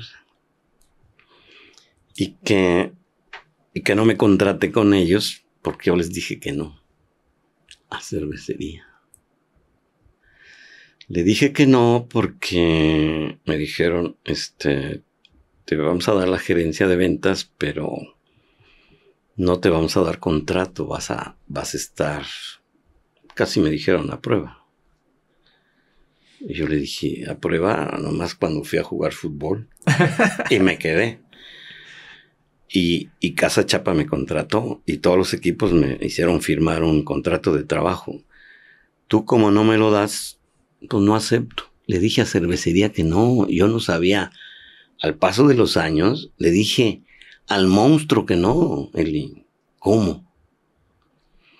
Pero no me arrepiento porque tuve mis negocios, gracias a mis negocios y donde trabajé, eh, me pude solventar todo, compré casas, le compré casa a mamá en México, eh, aquí compré casas, eh, tengo la máxima pensión del Seguro Social, eh, manejo con mis hijos ahí pequeñas cosas, entonces... Ya está en el pádel.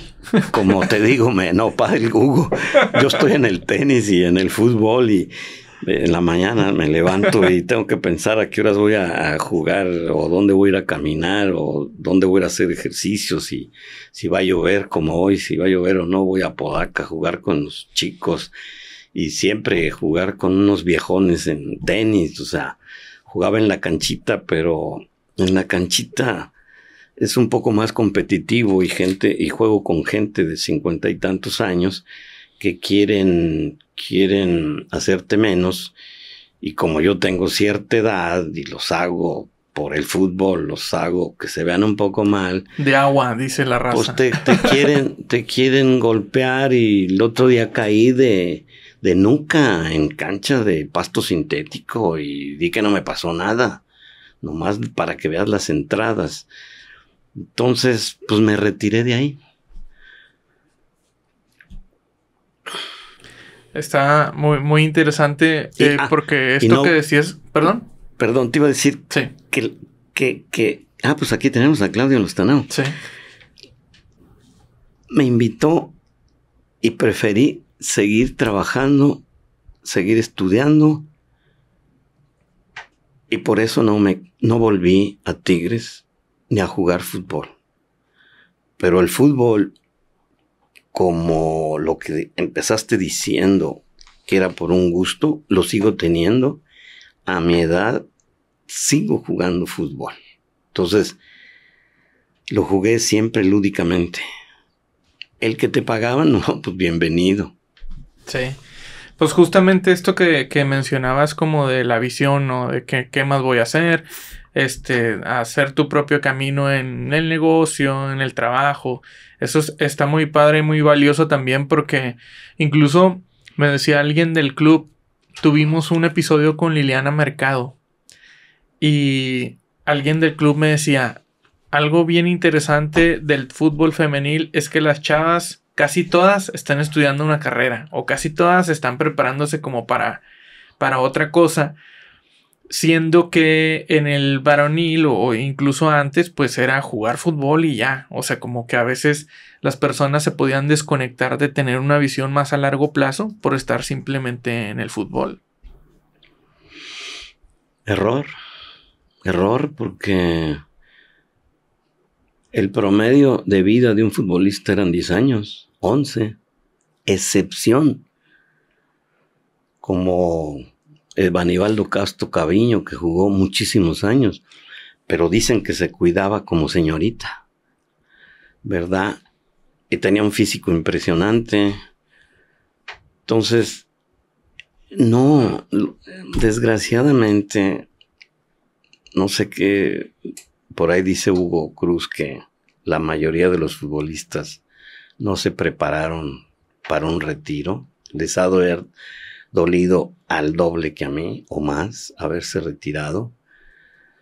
Eh, desgraciadamente eh, no se supieron mover, creyeron que el fútbol les iba a seguir dando todo.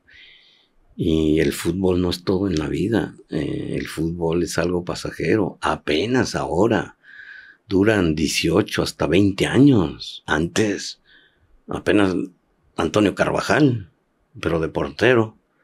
Pero un jugador ya 33 años, ya era anciano. Hoy estamos hablando de que hay quien va a llegar a los 40. ¿Verdad? Eh, eh, es más, un mundialista hace dos mundiales, jugó a los 39 años, creo, de no sé qué país.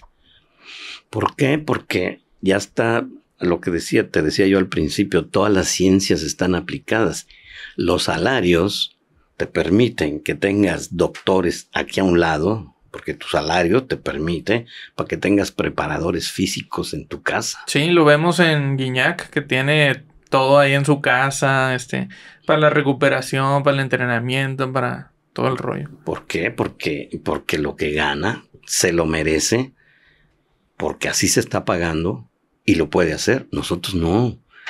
Nosotros era, eh, voy a entrenar en la mañana y toda la tarde desperdiciada. Y yo decía, fíjate que, que, que, que yo eso también lo pensé desde antes, cuando, cuando yo jugaba en el Atlante, nos llevaban a, jugábamos en la Ciudad de México, nos llevaban ahí cerca de Cuernavaca, a una, a una como quinta que tenía el dueño del Atlante, tenía habitaciones, tenía, de cuenta, un, un bar, un, un bar, una suazua chiquita, ¿verdad? Un campo de fútbol chiquito, habitaciones, ahí comíamos, desayunábamos. A los solteros nos llevaban los miércoles y a los casados los llevaban los viernes para jugar el domingo a las 12 del día. Y yo a veces pensaba, oye, ¿qué hago aquí? ¿Tres días? Miércoles en la noche, jueves, viernes, sábado y a México. Y vivías allá. Estudiando, jugando billar, jugando cartas, jugando dominó, entrenando en la mañana, ibas a entrenar a Huastepec y ya llegaba en la tarde, híjole, aquí como estoy perdiendo el tiempo, ya no voy a la escuela. Entonces, gracias Tigres, gracias Tigres, gracias Roberto, por eso le digo padrino a Roberto, que me volvió a llamar, que me convenció, que vi, que llegué, que vi la oportunidad de la universidad. ¿Cómo no vas a, estudiar si estás en la universidad? Creo que Jiménez estudió, creo que intentó izquierdo, creo que los Álvarez, alguno de ellos estudiaron, ahora Ayala, etcétera. Ah, tocando estos chicos jóvenes, ah, no sé si ya te dije que tuve a Israel Jiménez, a los 13 años, tuve a Palos, te conecto, te conto una anécdota de Palos. Me lo dejaron a los 16 años. Yo me metí de, de hobby, de, entrenador en fuerzas básicas de Tigres. Hablé con el ingeniero Rodríguez y le digo, oiga, tengo tiempo, ¿no? No quiere que pueda yo participar, tengo muchas ganas y tengo tiempo. Sí, vente, Marco. Me fui y me dieron la, la, la categoría de 16 años y la de 12 o 13 que era donde estaba Israel. Y la 16 tuve a palos, luego luego salió un viaje a Mazatlán y pues los entrenadores, pues ya ves, vamos adelante y vamos a Mazatlán y todos arropados porque vas a pasar por la sierra, etcétera. Palos iba sin, sin cobija. Y, no sé dónde nos estacion, se estaciona el autobús y yo veía que alguien se movía y se movía. Y era Enrique Palos. Le digo, Enrique, ¿qué te pasa? Dice, no, es que tengo mucho frío. Bueno, pues ten, le di mi cobija. Primera anécdota. La siguiente, vamos a... Empiezan los juegos y un defensa le da la pelota con el pie, al pie de Palos y no sabe qué hacer. Enrique. Y me grita el defensa, profe, no sabe, pues no se la den, no se la den, ya no se la den. Fíjate cómo los futbolistas iban haciendo, fíjate, ya reciente, ya reciente, Palos a los 16 años no sabía con el pie, lo enseñaron, lo enseñó Mateo Bravo y compañía. Entonces, este, tuve a él en segunda división, yo fui auxiliar del abuelo Azuara y tuvimos a la Palmera Rivas, me tocó la Palmera. Y de Israel, que fue campeón olímpico, hablando ahorita de las Olimpiadas, que es un gran logro, pone en una de las revistas de Tigres. Estoy agradecido con Marcelino Gutiérrez y Marcos Menéndez, mis profesores en Tigres. Para mí es un diploma que haya dicho eso Israel. Pero son, son, son, fíjate, infinidad de cosas que los, la gente de Tigres, los, los nuevos, los ya viejones, los abuelos, los papás y los, los hijos, no saben, no saben de todo lo que pasamos, de de, de cómo es el fútbol, de la historia, ya regresando a nuestro principal tema, de que deben estar enterados de la historia de Tigres, ¿verdad? Porque ahorita hacen un documental donde pasan dos imágenes de cuando fuimos en el ascenso y no es posible que no tengas historia completa. Estoy de acuerdo que la estén haciendo a partir de, pero ¿por qué a partir de? Y que sobre, y, y que nombres mucho más que a nadie tres jugadores. Dejando fuera, por ejemplo, a un carioca que para mí es un jugador de los cuatro mejores. Y me pongo a dudar quién es el uno. Para mí. Porque Guiñac tiene la capacidad enorme de hacer goles. Porque Guido Pizarro es un buen defensa, que se ubica muy bien, que corta jugadas, que tiene buena salida. Porque Guiñac, perdón, porque Nahuel es extraordinario portero porque tiene una gran elasticidad, tiene mucha visión de juego, sabe dónde, sabe pararse perfectamente casi al, al borde o fuera del área chica, valga la redundancia, achica la, la, portería eh, para que el, el, contrario tenga menos oportunidad, pero el gran conductor, que por cierto mi gran amigo Hugo no, no, no, no concuerda conmigo de, de Carioca. Carioca es el, es, el, es el que le da los tiempos para mí, para mí. Yo así lo veo, ¿eh? Yo respeto a todo mundo.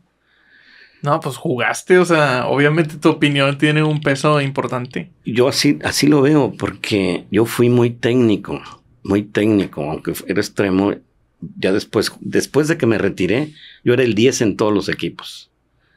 Y había un argentino que, llegó aquí, pero que no fue profesional, me decía, Marcos, pásamela para atrás. No, para atrás contigo, no, hombre, yo juego para adelante.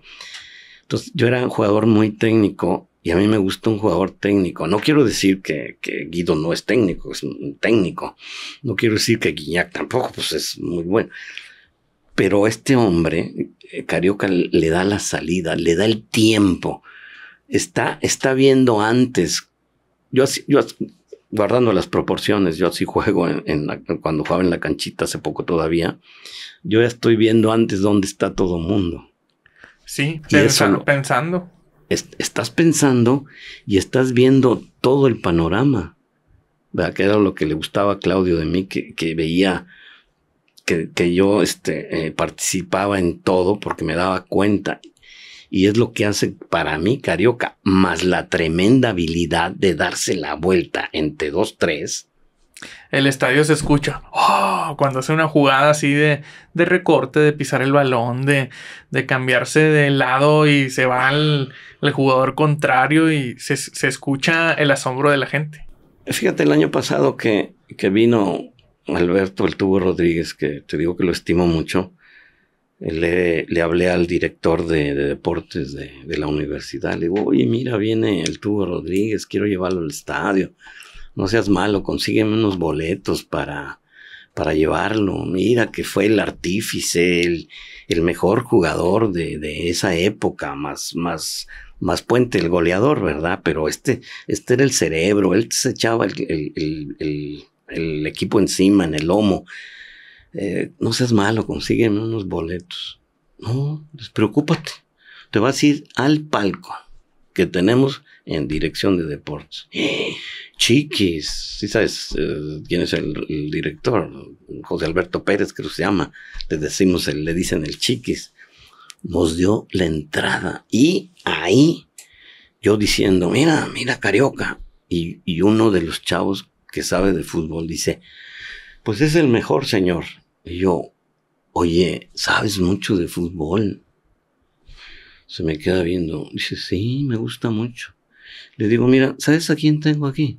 Alberto Rodríguez, el que subió tu equipo de primera división, el cerebro, el que por él subió, le echaba porras a Alberto Rodríguez.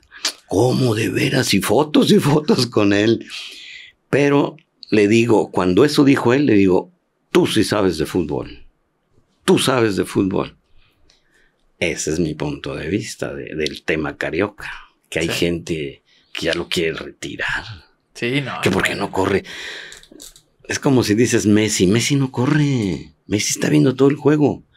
Ya sabe qué lugar está desocupado. Igual que, igual que Carioca. Ya sabe dónde va a pasar el balón. A diferencia de los otros que reciben y no saben para dónde ir. Pero bueno, es un tema larguísimo. El fútbol, Tigres. Sí, yo creo que sí andamos rompiendo el récord del episodio que más ha, durado. Yo creo que sí. Pues llevamos. Ahorita marca dos horas y media más o menos el. Es que fíjate que también me di cuenta ahora que iba a venir contigo, por eso, por eso, por eso me preparé, mira. A ver, ¿tienes algo que no se haya mencionado? Todo lo que escribí para que no se me olvidara nada, para, para tener, porque me dije voy a ir y este, primero vi quién eras, cómo eras, a quién, a quién, a quién este, a quién habías traído, cómo conduces, cómo haces, etcétera, para no demeritar tu, tu podcast. Y este, me puse a hacer la tarea, a buscar todo lo que haces. Y este, dije, dije, tengo que ir preparado, porque esto, esto es algo que si la gente nueva no lo quiere entender, de que hay una historia, de que mira cómo le pongo en grandes letras el perfil tigre. No, no se nos escapó nada. Eh, la, la gente tiene que saber por qué existe Tigres. ¿Qué le pasó a Tigres en aquellos años? ¿Qué tan fácil fue? ¿Qué tanto ganaban los jugadores? ¿Qué facilidades tenían? ¿Qué ciencias los arropaban? No lo saben. Ahorita están gozando los, chavos, los padres, los abuelos no. Los abuelos oían. A lo mejor los abuelos oían que Tigre se iba a jugar contra curtidores, contra la Universidad del Estado de México, contra la de Cuernavaca, contra la Piedad, etcétera, y volvían y que ganaron y que van en primer lugar y que van con la UDG y que no se no se va a hacer un partido como el año, dos años antes en el Azteca, la final que perdieron 4-0 con el Atlas Perdieron dos años antes de nosotros 4-0. Claro, con un super, equipo el Atlas. Como decir que Tigres salió de vuelta de las cenizas. Pues sí, pero con esos jugadores, con esos sueldos, o sea, ¿cómo? Hablando del, del cielo a la tierra, no me digas que si Boldi con los refuerzos Diablo Núñez, Coca, Marcos Ayala, Tinoco, que ganaban un mundo de dinero. Toselo. Que incluso también hubo mucho empuje de cosas de mercadotecnia y todo, pues, para, para la vuelta, ¿no? Pero es lo que te digo, o sea, ¿de qué estamos hablando? El, ¿Cuál es el ascenso que vale? Y hablan ahora en el documental que, que, que, que del infierno van para arriba. El infierno fue el nuestro. Literalmente te lo digo, el, eso fue el infierno. Eso fue un infierno. No, te regresas. Mira, yo tenía una agencia de viajes, te lo dije ahorita que entramos. A esa agencia de viajes me compraban boletos de avión Tigres.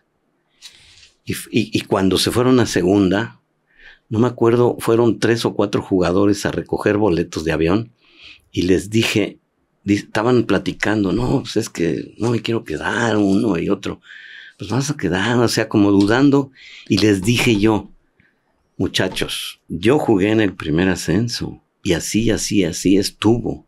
No, no teníamos la calidad de ustedes. Sí habíamos jugadores de primera división, que éramos como siete u ocho. Los demás eran puros jugadores de segunda división Y ustedes, con esos, con esos jugadores que tienen, con ese buen equipo, van a regresar. Y se los reforzaron. Estaba Siboldi, imagínate, uno de los buenos porteros de, Tigres. ¿De qué estamos hablando?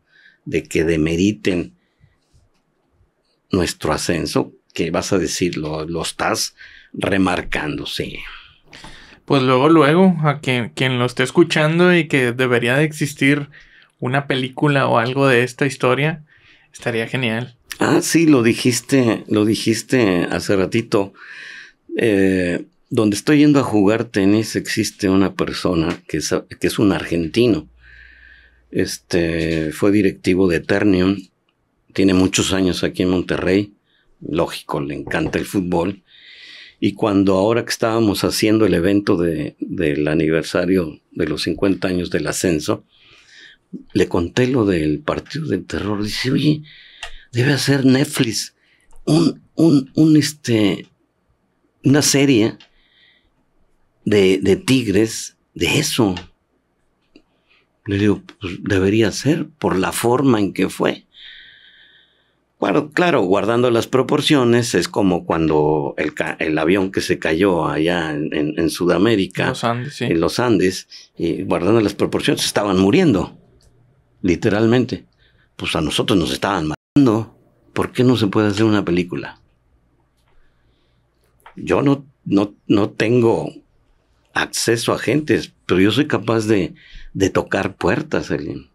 Ahora lo hice yo fui, mm, voy a pecar de modesto, yo fui el de la idea de hacer el, el evento del 50 aniversario, me apoyó en todo momento, incondicionalmente, y con tu, su gran asesoría por ser docente de la Universidad Roberto Méndez, formamos el comité, se agregó de, rebote Jorge Urdiales, y yo me atreví a tocar puertas junto con Enrique Frech, a tocar puertas, puertas en televisoras, al mismo Tigres, a la misma universidad, yo lo hice y a Tigres también.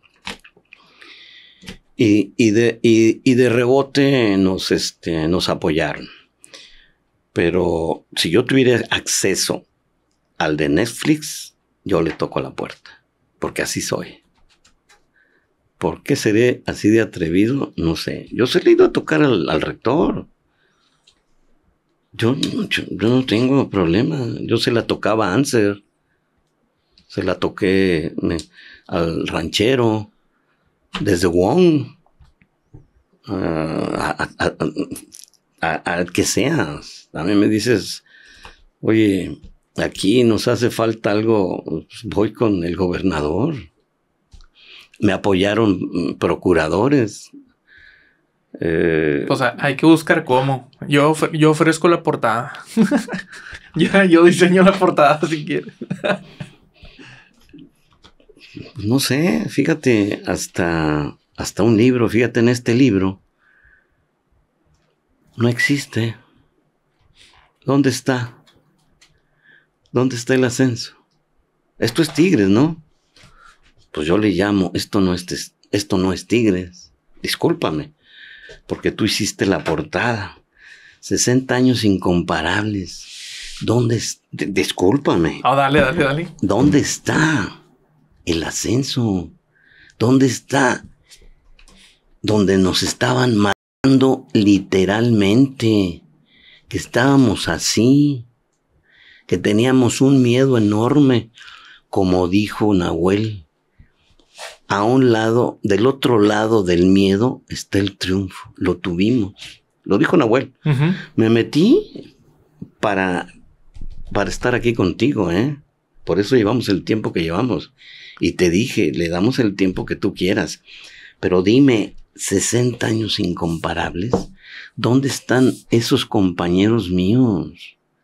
Como el Tubo Rodríguez, José Luis Puente, que Mauricio Duener dijo, debo de repetir la frase que dijo José Luis Puente en el evento de nuestros 50 años de aniversario, que se agregaron al final, porque lo íbamos a hacer nosotros con tres pesos. ¿Verdad? Porque no, no obtuvimos respuesta. Lo dijo Mauricio utilizando la frase de José Luis, Tigres nació grande y va a ser el mejor equipo de Nuevo León. Lo repitió Mauricio. Y, y Mauricio también dijo que esas bases fincaron el perfil tigre. Pero yo te pregunto, ¿dónde está? ¿Por qué hablas de 60 años? ¿Por qué hablan, perdón? Me estoy refiriendo a ti por la, porque me dices que la portada, muy bonita. Nomás que te falta una persona aquí, que es Alberto Rodríguez. Y que, y que en todo este libro no existe, no existe el ascenso. Porque estás hablando de 60 años y el ascenso fue hace 50. Perdóname que sea tan franco, soy extremadamente directo, por eso mis hijos me, regañan. no, hombre, está mejor. Te decía en la comida, es que también creo que, que es un, pues casi como un valor de ser auténtico, transparente, este, qué mejor que, que, que decirte las cosas a tratar de quedar bien, nada más, ¿no? O sea, se, yo creo que se debe valorar eso, la sinceridad. Es que... Y trae, y trae algo, sí, o sea, el libro sí trae algo mencionado, pero a lo mejor no, no se está dimensionando como todo lo que nos platicaste, que la verdad te agradezco bastante que, que nos hayas dado detalle de, de lo que pasó. Fíjate, eh, necesitas decirme dónde está, aquí está es, está. Sí. Habla, fíjate, del juego del terror. Enmarcó el título que dio a los Tigres el boleto de la primera división. Dirigidos por el Che Gómez, pero no habla, no habla, nomás. Ajá. Es, entre, es por encima. Entre comillas, el partido, el, el, juego del terror. ¿Por qué se le llama el juego del terror? ¿Ah? lo pones en un libro, bueno, yo creo, si yo hiciera un libro, tendría que poner por qué me refiero, por qué se llama Tigres, por qué se llamaba Universidad de Nuevo León, por qué se llamó Universitario de Nuevo León, por qué después Universidad de Nuevo León, por qué Tigres entró a la mercadotecnia, ¿ya? ¿Por qué en un libro le das Dos hojas. Pues ya. Dos hojas. Ya, porque lo que sigue es la del uni. Sí, está bien, está bien. Historia está, bien está bien, está bien. Que le das y que no le das al, al, al, al núcleo, a lo más importante. ¿Por qué y cómo subimos? Las formas de cómo subimos. Los hechos. No le das valor a estos 11 titulares y los que entrábamos de cambio, no nos das. En el libro de... El de, décadas. De multimedios. Sí, décadas de garra y pasión. Ahí me salgo en una... Eh, sale esta foto y a la siguiente página salgo yo. Sí. Y donde que yo soy una pieza muy importante. Yo se los agradezco mucho porque yo siento que lo fui. Entonces, en un libro este tan bonito, tan... Te iba a decir tan completo, pero no. Porque aquí se debió haber remarcado la, la gran... Dice Roberto Méndez. Espérame. Esto de haber subido a primera división al equipo de Tigres no solamente es un hecho histórico, es un hecho heroico. ¿Por qué es heroico? Por las formas en cómo lo logramos. Claro. Toda la temporada no fue, no, ya no fue heroica, ponle tú. El, el último partido es de heroísmo. Te agarraste la bandera en el castillo de Chapultepec y te aventaste con ella. Lo hicimos, Elín. O sea, ¿de qué estamos hablando? ¿Por qué? ¿Por qué? ¿Qué es lo que yo le reclamé al periódico más importante que tres días después se disculparon conmigo? Les digo, y me pusieron ahí. Marco, Por lo del evento. Sí. Eh, eh, estamos disculpas atasadas. Le digo, a mí no me pidas disculpas, cabrón. Pides, perdón, pídeselos a los 25 que no nombraste y que, y que, y que al otro día del evento pusiste una, un, un pedacito del evento y pones un tema muy trillado en primera plana que no se va a hacer. Lo del nuevo Eh, estadio, ¿verdad? Y que el estadio es tan sencillo hacerlo. El Maracaná, digo, perdón, el, el Santiago Bernabéu, el Wembley. Mira, este es el estadio. Yo no soy arquitecto ni ingeniero. Lo vas, lo vas a cubrir. Lo vas a cubrir. Y le vas a colocar todo lo que quieras. Locales, restaurantes, hotel, etcétera, etcétera, etcétera. Un ingeniero te lo hace muerto de risa de la universidad. Nada más que esto, el, el- el envolverlo, ¿quién lo va a poner? Cuesta. A mí que me presta, que me estás rentando la casa, ¿yo la voy a remodelar? No, ¿verdad?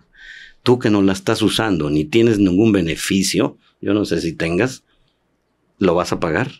Por eso no, el gobierno, el gobierno anda de vacaciones. a- a- ¿eh? En Nueva York. En Nueva. York, en Europa, o sea, ¿de qué estamos hablando? Estamos en, en México, estamos en- ahorita ya estamos en el Nuevo León, pero es bien fácil arreglar el estadio.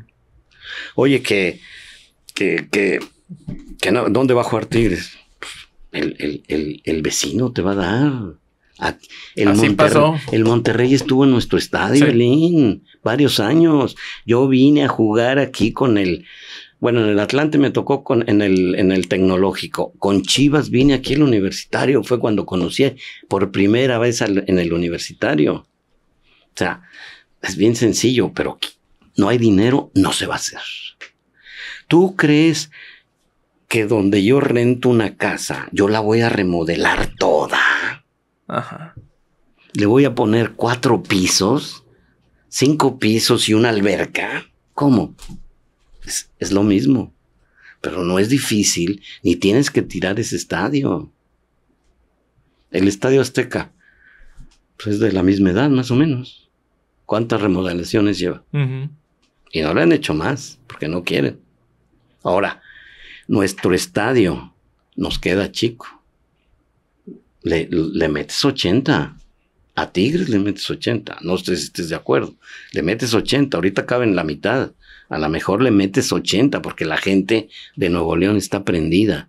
Y luego ya están encantando a los de Estados Unidos, etcétera. Claro. Por allá nos vemos en Houston. Próximos días. Oye, pues ya salió con fallas mi cámara porque ya se llenó. Ahorita ya nadie me está viendo porque esto ya duró. Ya duró un buen. Rompiste récord. Oye, pero qué padre, la neta. Todavía le agarro más valor a, a que estés aquí y que nos cuentes lo que está en dos páginas, nos lo cuentes en casi tres horas. qué Mira, chido. Yo me iba a ir a jugar fútbol, pero yo me comprometí contigo porque, no sé, fíjate que se dan los tiempos, vuelvo a decir lo mismo, fíjate en qué tiempo justo se vino a dar esto. Nos hablamos hace dos años. Y yo te dije que sí, ya, ya revisé el WhatsApp y quedamos de acuerdo y todo. ¿Qué pasó? No sé. Yo creo que a mí, cuando me hackearon el teléfono, cambié de número. Y a lo mejor ahí perdimos eh, conexión. Sí. Pero fíjate, cumpliendo 50 años, se hace. Se hace ese documental, está. Este cuando se hizo, también. No sé, mi vida se va acomodando en ciertas cosas. Fíjate, haber venido a Tigres, a un equipo de... Perdón por decir eso, no debo hablar mal de mi gran equipo. ¿verdad? A un equipo de provincia. No, deja, deja la provincia, el segunda división, el ego, el ego de jugar en Chivas.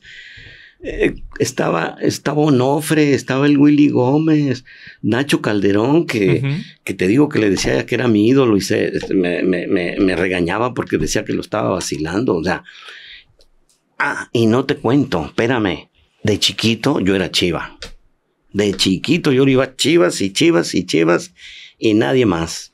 Y vivía yo cerca de la, por irme en el tren, iba yo y les pedía autógrafos a todos los Chivas. Y todavía me tocó jugar con el Willy, al Willy le pedía autógrafo, a Nacho Calderón le pedía autógrafos, con los que yo jugué les pedía autógrafos, yo era chiva de chiquito.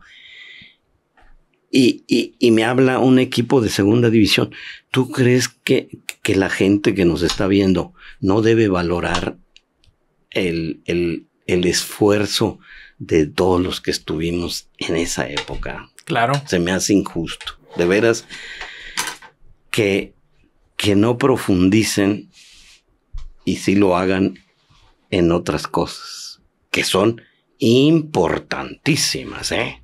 Que quede bien claro que yo estoy feliz de cómo está actualmente Tigres, de cómo es Tigres, de cómo es una marca de, de, todo lo que está haciendo, de todos los jugadores que trae, de todo estoy muy feliz. Tuve el mes antepasado decepciones, pero bueno, son como a veces las amorosas, ¿verdad? Te recuperas y, le das para adelante. Claro. Pero qué oportunidad que me hayas dado de platicar. Yo estoy muy agradecido. En un principio me dijiste gracias. No tuve tiempo de decírtelo. Te agradezco mucho porque eh, es algo importantísimo para mí. Y estoy hablando en nombre de veintitantos que estuvimos en ese ascenso. No, hombre, qué honor. Gracias por compartirnos todo esto y estoy seguro que a la gente le va a gustar mucho. Espero, espero porque este, los jóvenes eh, con estas cosas nuevas de, de celulares, etcétera, hay tanta información tan rápida que hasta yo ya, yo ya estoy en medio de eso y ya meterte a, ver una televisión o algo, durar tanto tiempo, pero tú me comentaste que los, que los puedes ir cortando y poniendo. Ahí te verás en TikToks y, en Reels. Y se oye, y se oye impresionante para los, para los muchachos de ahora que, que se dedican a, a, ser tan, tan rápidos en, en, en todo, A nosotros éramos lentos, ¿verdad? Ya ahorita. No, ya, ya lo rápido hasta lo quieren en campeonatos, espérense. Quieren todo de inmediato, resultados y tal pedo. Ese es, ese, es lo que te digo, que admiro esta, estos, esta empresa. Desde, desde el ingeniero Rodríguez como directivo, de entrenador como Tuca Ferretti. Pues, ¿quién como Tuca Ferretti? Le, le consta a nuestro gran amigo Hugo Cruz que criticaron al Tuca antes de campeonar cuatro o cinco veces y yo los puse en su lugar. ¿Cómo es posible que cualquier gente se ponga a criticar a alguien tan exitoso y luego mucho más exitoso? Entonces, estas directivas, este, esta, este funcionamiento con esta gran empresa, desde un principio de la misma universidad, pues es, es ser tigre porque es para mí actualmente pues ningún equipo y estoy inmensamente agradecido con la misma institución y más con la universidad. Muy bien. Oye, ya para cerrar, te voy a hacer unas preguntillas así, eh, breves. Este, y ahí me vas contestando. La primera, ¿cuál es tu jersey favorito de Tigres? Si puedes escoger uno, ¿cuál sería? Jersey. Sí. Fíjate que yo soy apasionado del azul celeste. Ese, compré un pirata. Confieso que compré un pirata. Y, el azul oscuro, pues claro, o sea, yo porque voy a comprar uno de, de dos mil pesos sabiendo un pirata que me lo va a poner una o dos veces. pues, o sea, no ir a la, antes cuando estaba en Tigres en Fuerzas Básicas nos hacían descuento creo que un 30% cuando estábamos ahí. Pero ahorita no voy a poner un descuento. Me compro una pirata y me la pongo un día y adiós. Entonces prefieres azul. El azul celeste. Imagínate que van a poner un letrero en el estadio y ese letrero se va a quedar para siempre y a ti te encargan la frase. ¿Qué pondrías? Y está complicadísimo es como no la podría, no te la podría decir luego, luego tendría que ponerme a pensar porque, porque es una historia de 50 años. Y para reducirla en una frase Sí. 50 años está en chino. Si luego se te ocurre, me la mandas y la ponemos aquí. Este, la siguiente, si has visto la tienda de tigres o en línea, ¿qué artículo no venden y te gustaría que existiera? Fíjate que he ido muchas veces, estoy hablando desde hace 20 años que estaba la tienda. Fui ahora porque... Me río porque fui ahora porque nos dieron, ahora que fue el evento, nos dieron playera de tigres. Y este, a mí me dieron una que no me quedó. Fui y este, y les dije, oiga, me dieron una camisa de, tigres, ¿me la podían cambiar? No, porque ya tiene salida. Le digo, es que me quedó chica. Me la dio el, el, este, el, el señor Culebro. No, pues sí, pero no se puede, dígale a no sé quién. Y luego le mandé un escrito a la, a la asistente de Carlos Valenzuela y me dijo, pues déjame ver.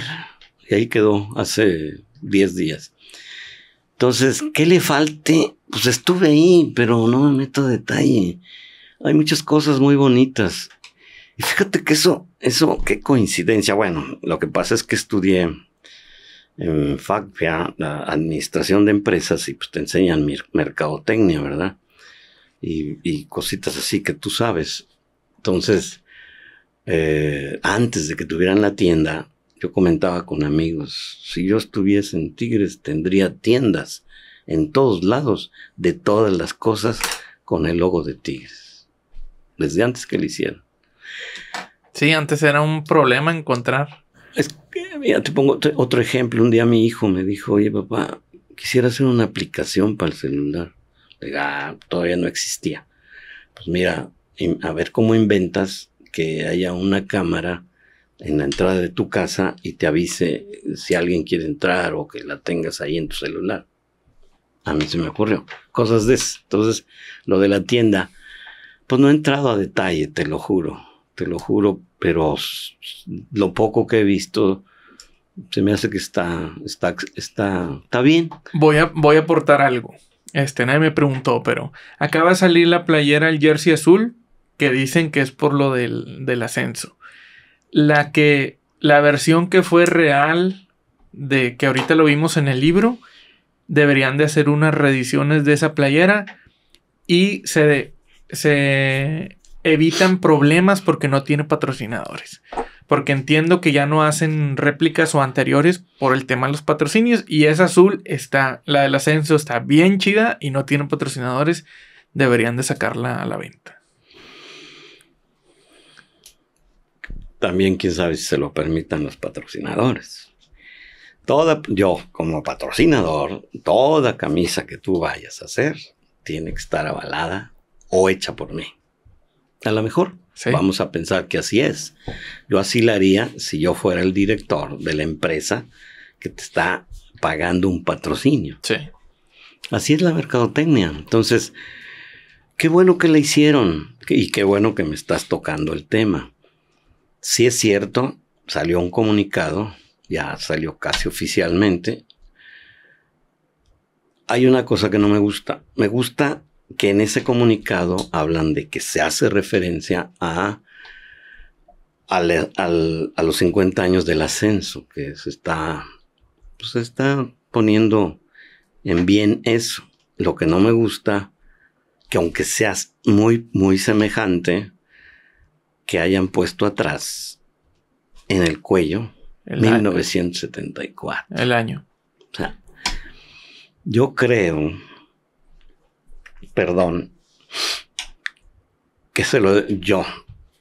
Claro, yo no soy el patrocinador, pero haber estudiado mercadotecnia, debía haberle buscado y dándole honor que le quieres dar a esa generación, a esos que lograron el ascenso y porque ellos se partieron en ese juego y en toda la temporada el alma y valga la expresión la madre ante esas amenazas de muerte me decía que ese 1974 lo tuviera adelante. ¿Dónde? No sé. Para eso tiene Adidas mer mercadólogos. Sí, muy bien. Tres palabras con las que defines a la afición de Tigres.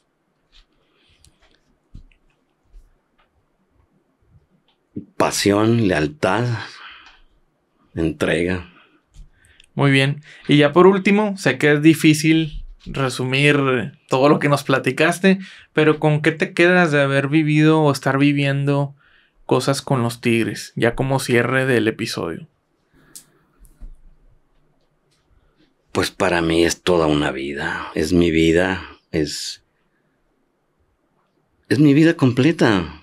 Me dio una familia, me dio hijos, me dio escuela, me dio vivir holgadamente ahorita, me dio, me dio todo, Tigres me dio todo, o sea, no puedo estar más que agradecido y, vuelvo a repetir el nombre de Roberto Méndez que me rogó dos veces, o sea, haber aceptado eh, es, es, para mí lo máximo y vuelvo a repetir que he hecho el escenario en mente de qué fuera para mí si no hubiera aceptado venir a Tigres y me hubiera quedado o en Chivas o, en X equipo. Es más, en el año que Tigres me habló, que la primera vez que fue en el 71, ya te dije que Torreón, a ellos les dije directamente que no. O creo que les pedí el triple y, y me dijeron que no. Entonces, ¿qué tengo de Tigres? Pues muchísimo agradecimiento. Es mi vida, mi vida. Llegué aquí a los... Iba a cumplir 23 años. Mi vida, cincuenta y tantos años aquí, 51. No soy regio de nacimiento, pero soy más regio que regios de aquí. ¿Eh? O sea, me dices algo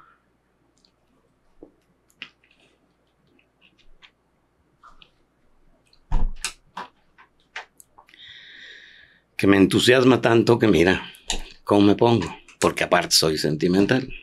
Somos. qué chido. Eso, pues dice más que, que, las palabras, ¿no? Y qué chido. Yo la verdad desde te agradezco mucho que eh, le, le contaba a mi mamá porque el día que vino Hugo aquí estaba. Y le digo, es que hubieras visto a Marcos que le brillaban los ojos cuando nos estaba contando cosas de los tigres el día de la comida. Dije, así, o sea, no, noto tu emoción y, sé que la gente lo, lo, ha notado a lo largo de la plática, así es que pues, te agradezco bastante, qué chido que, que se armó. No puedo decirte gracias. Tengo un nudo de la garganta. Te agradezco mucho, mucho, mucho. Fíjate lo que traía yo atorado. Quererme expresar en algún lugar todo lo que siento por Monterrey, por Tigres, por la ciudad que me ha dado en esta vida. Muchas gracias. Listo, pues ya con, e, con eso terminamos.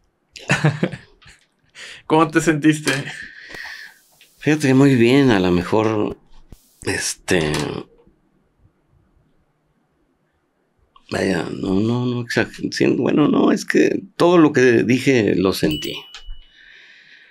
Si, si me hubiera quedado con algo, me hubiera sentido mal, me hubiera dicho, ¿por qué no hice? ¿Por qué no dije? ¿Por qué no me atreví?